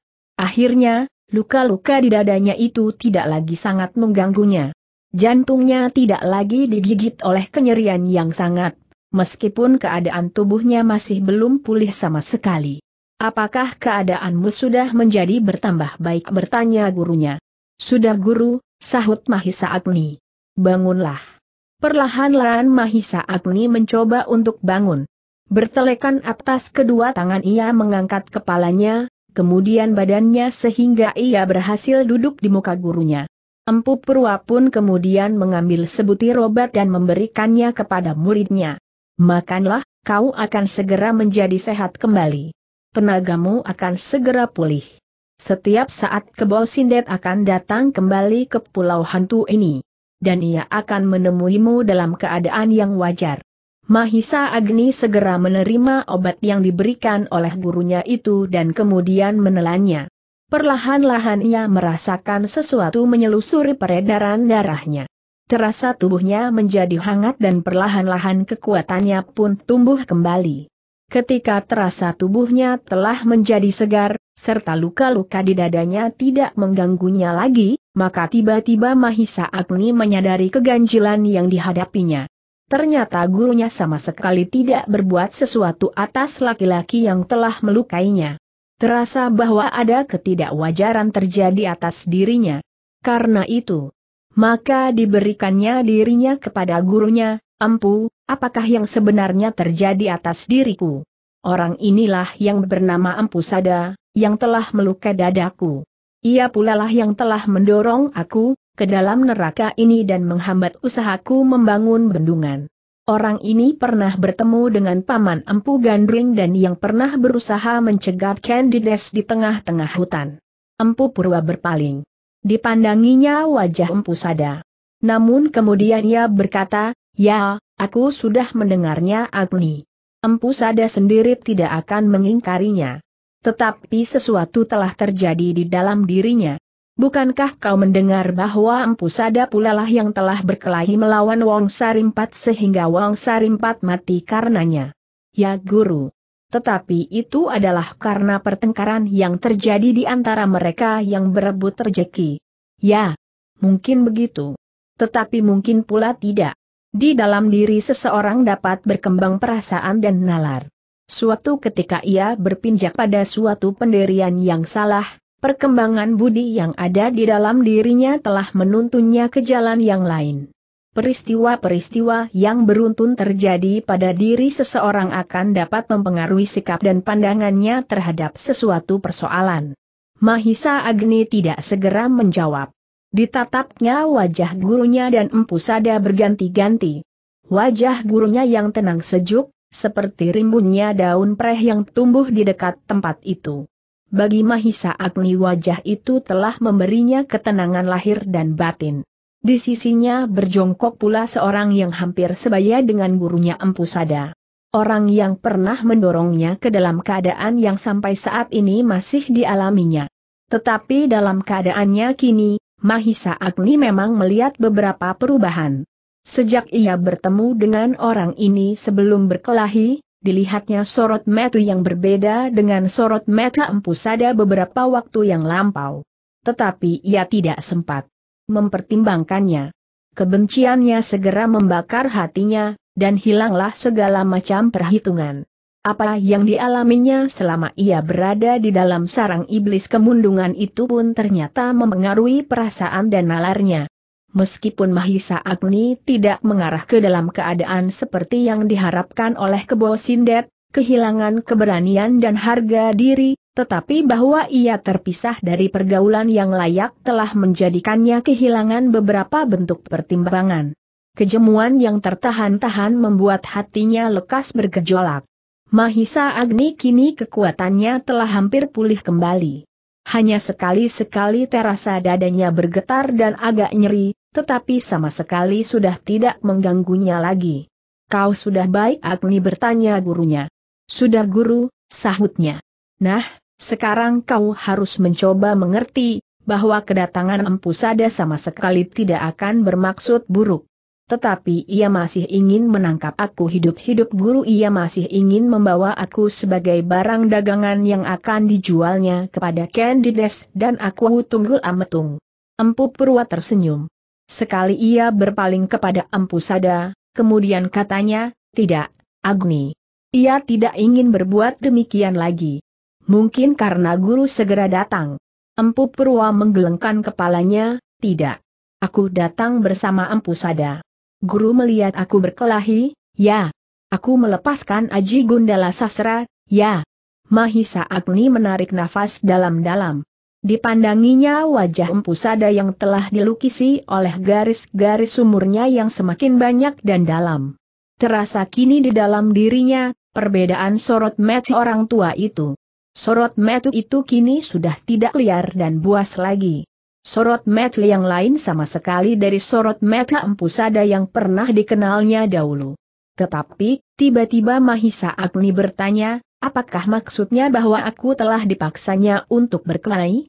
Empu Purwa tersenyum-senyum mendengar pertanyaan itu. Ketika ia berpaling dan memandangi wajah Empu Sada, orang tua itu pun tersenyum pula. Agni, berkata gurunya, Aku bertemu dengan Empu Sada pada saat Kebo Sindet datang ke sarangnya ini beberapa hari yang lalu. Aku telah mengatakan kepadanya apa yang sedang kau lakukan di sarang iblis ini. Agaknya Empu Sada ingin membuktikan sendiri, sampai di mana kau mendapat kemajuan selama ini. Ternyata cara yang ditempuhnya agaknya tidak kau senangi. Tetapi apabila tidak demikian, maka ia tidak akan dapat mengerti ukuran yang sebenarnya dari tingkat ilmumu sekarang. Mahisa Agni menarik nafas dalam-dalam.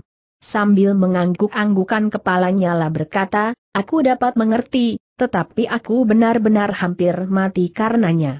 Bukan maksudku Agni, berkata Empu Sada kemudian, dan aku pun telah menemukan ukuran, bahwa dengan demikian kau tidak akan mati. Bahkan aku agaknya terlampau rendah menilai ilmumu yang sekarang berkembang dengan pesatnya, sehingga jantungku sendiri terasa akan rontok membentur kekuatan Aji Gundala Sastra yang telah jauh maju. Ah, Mahisa Agni berdesah.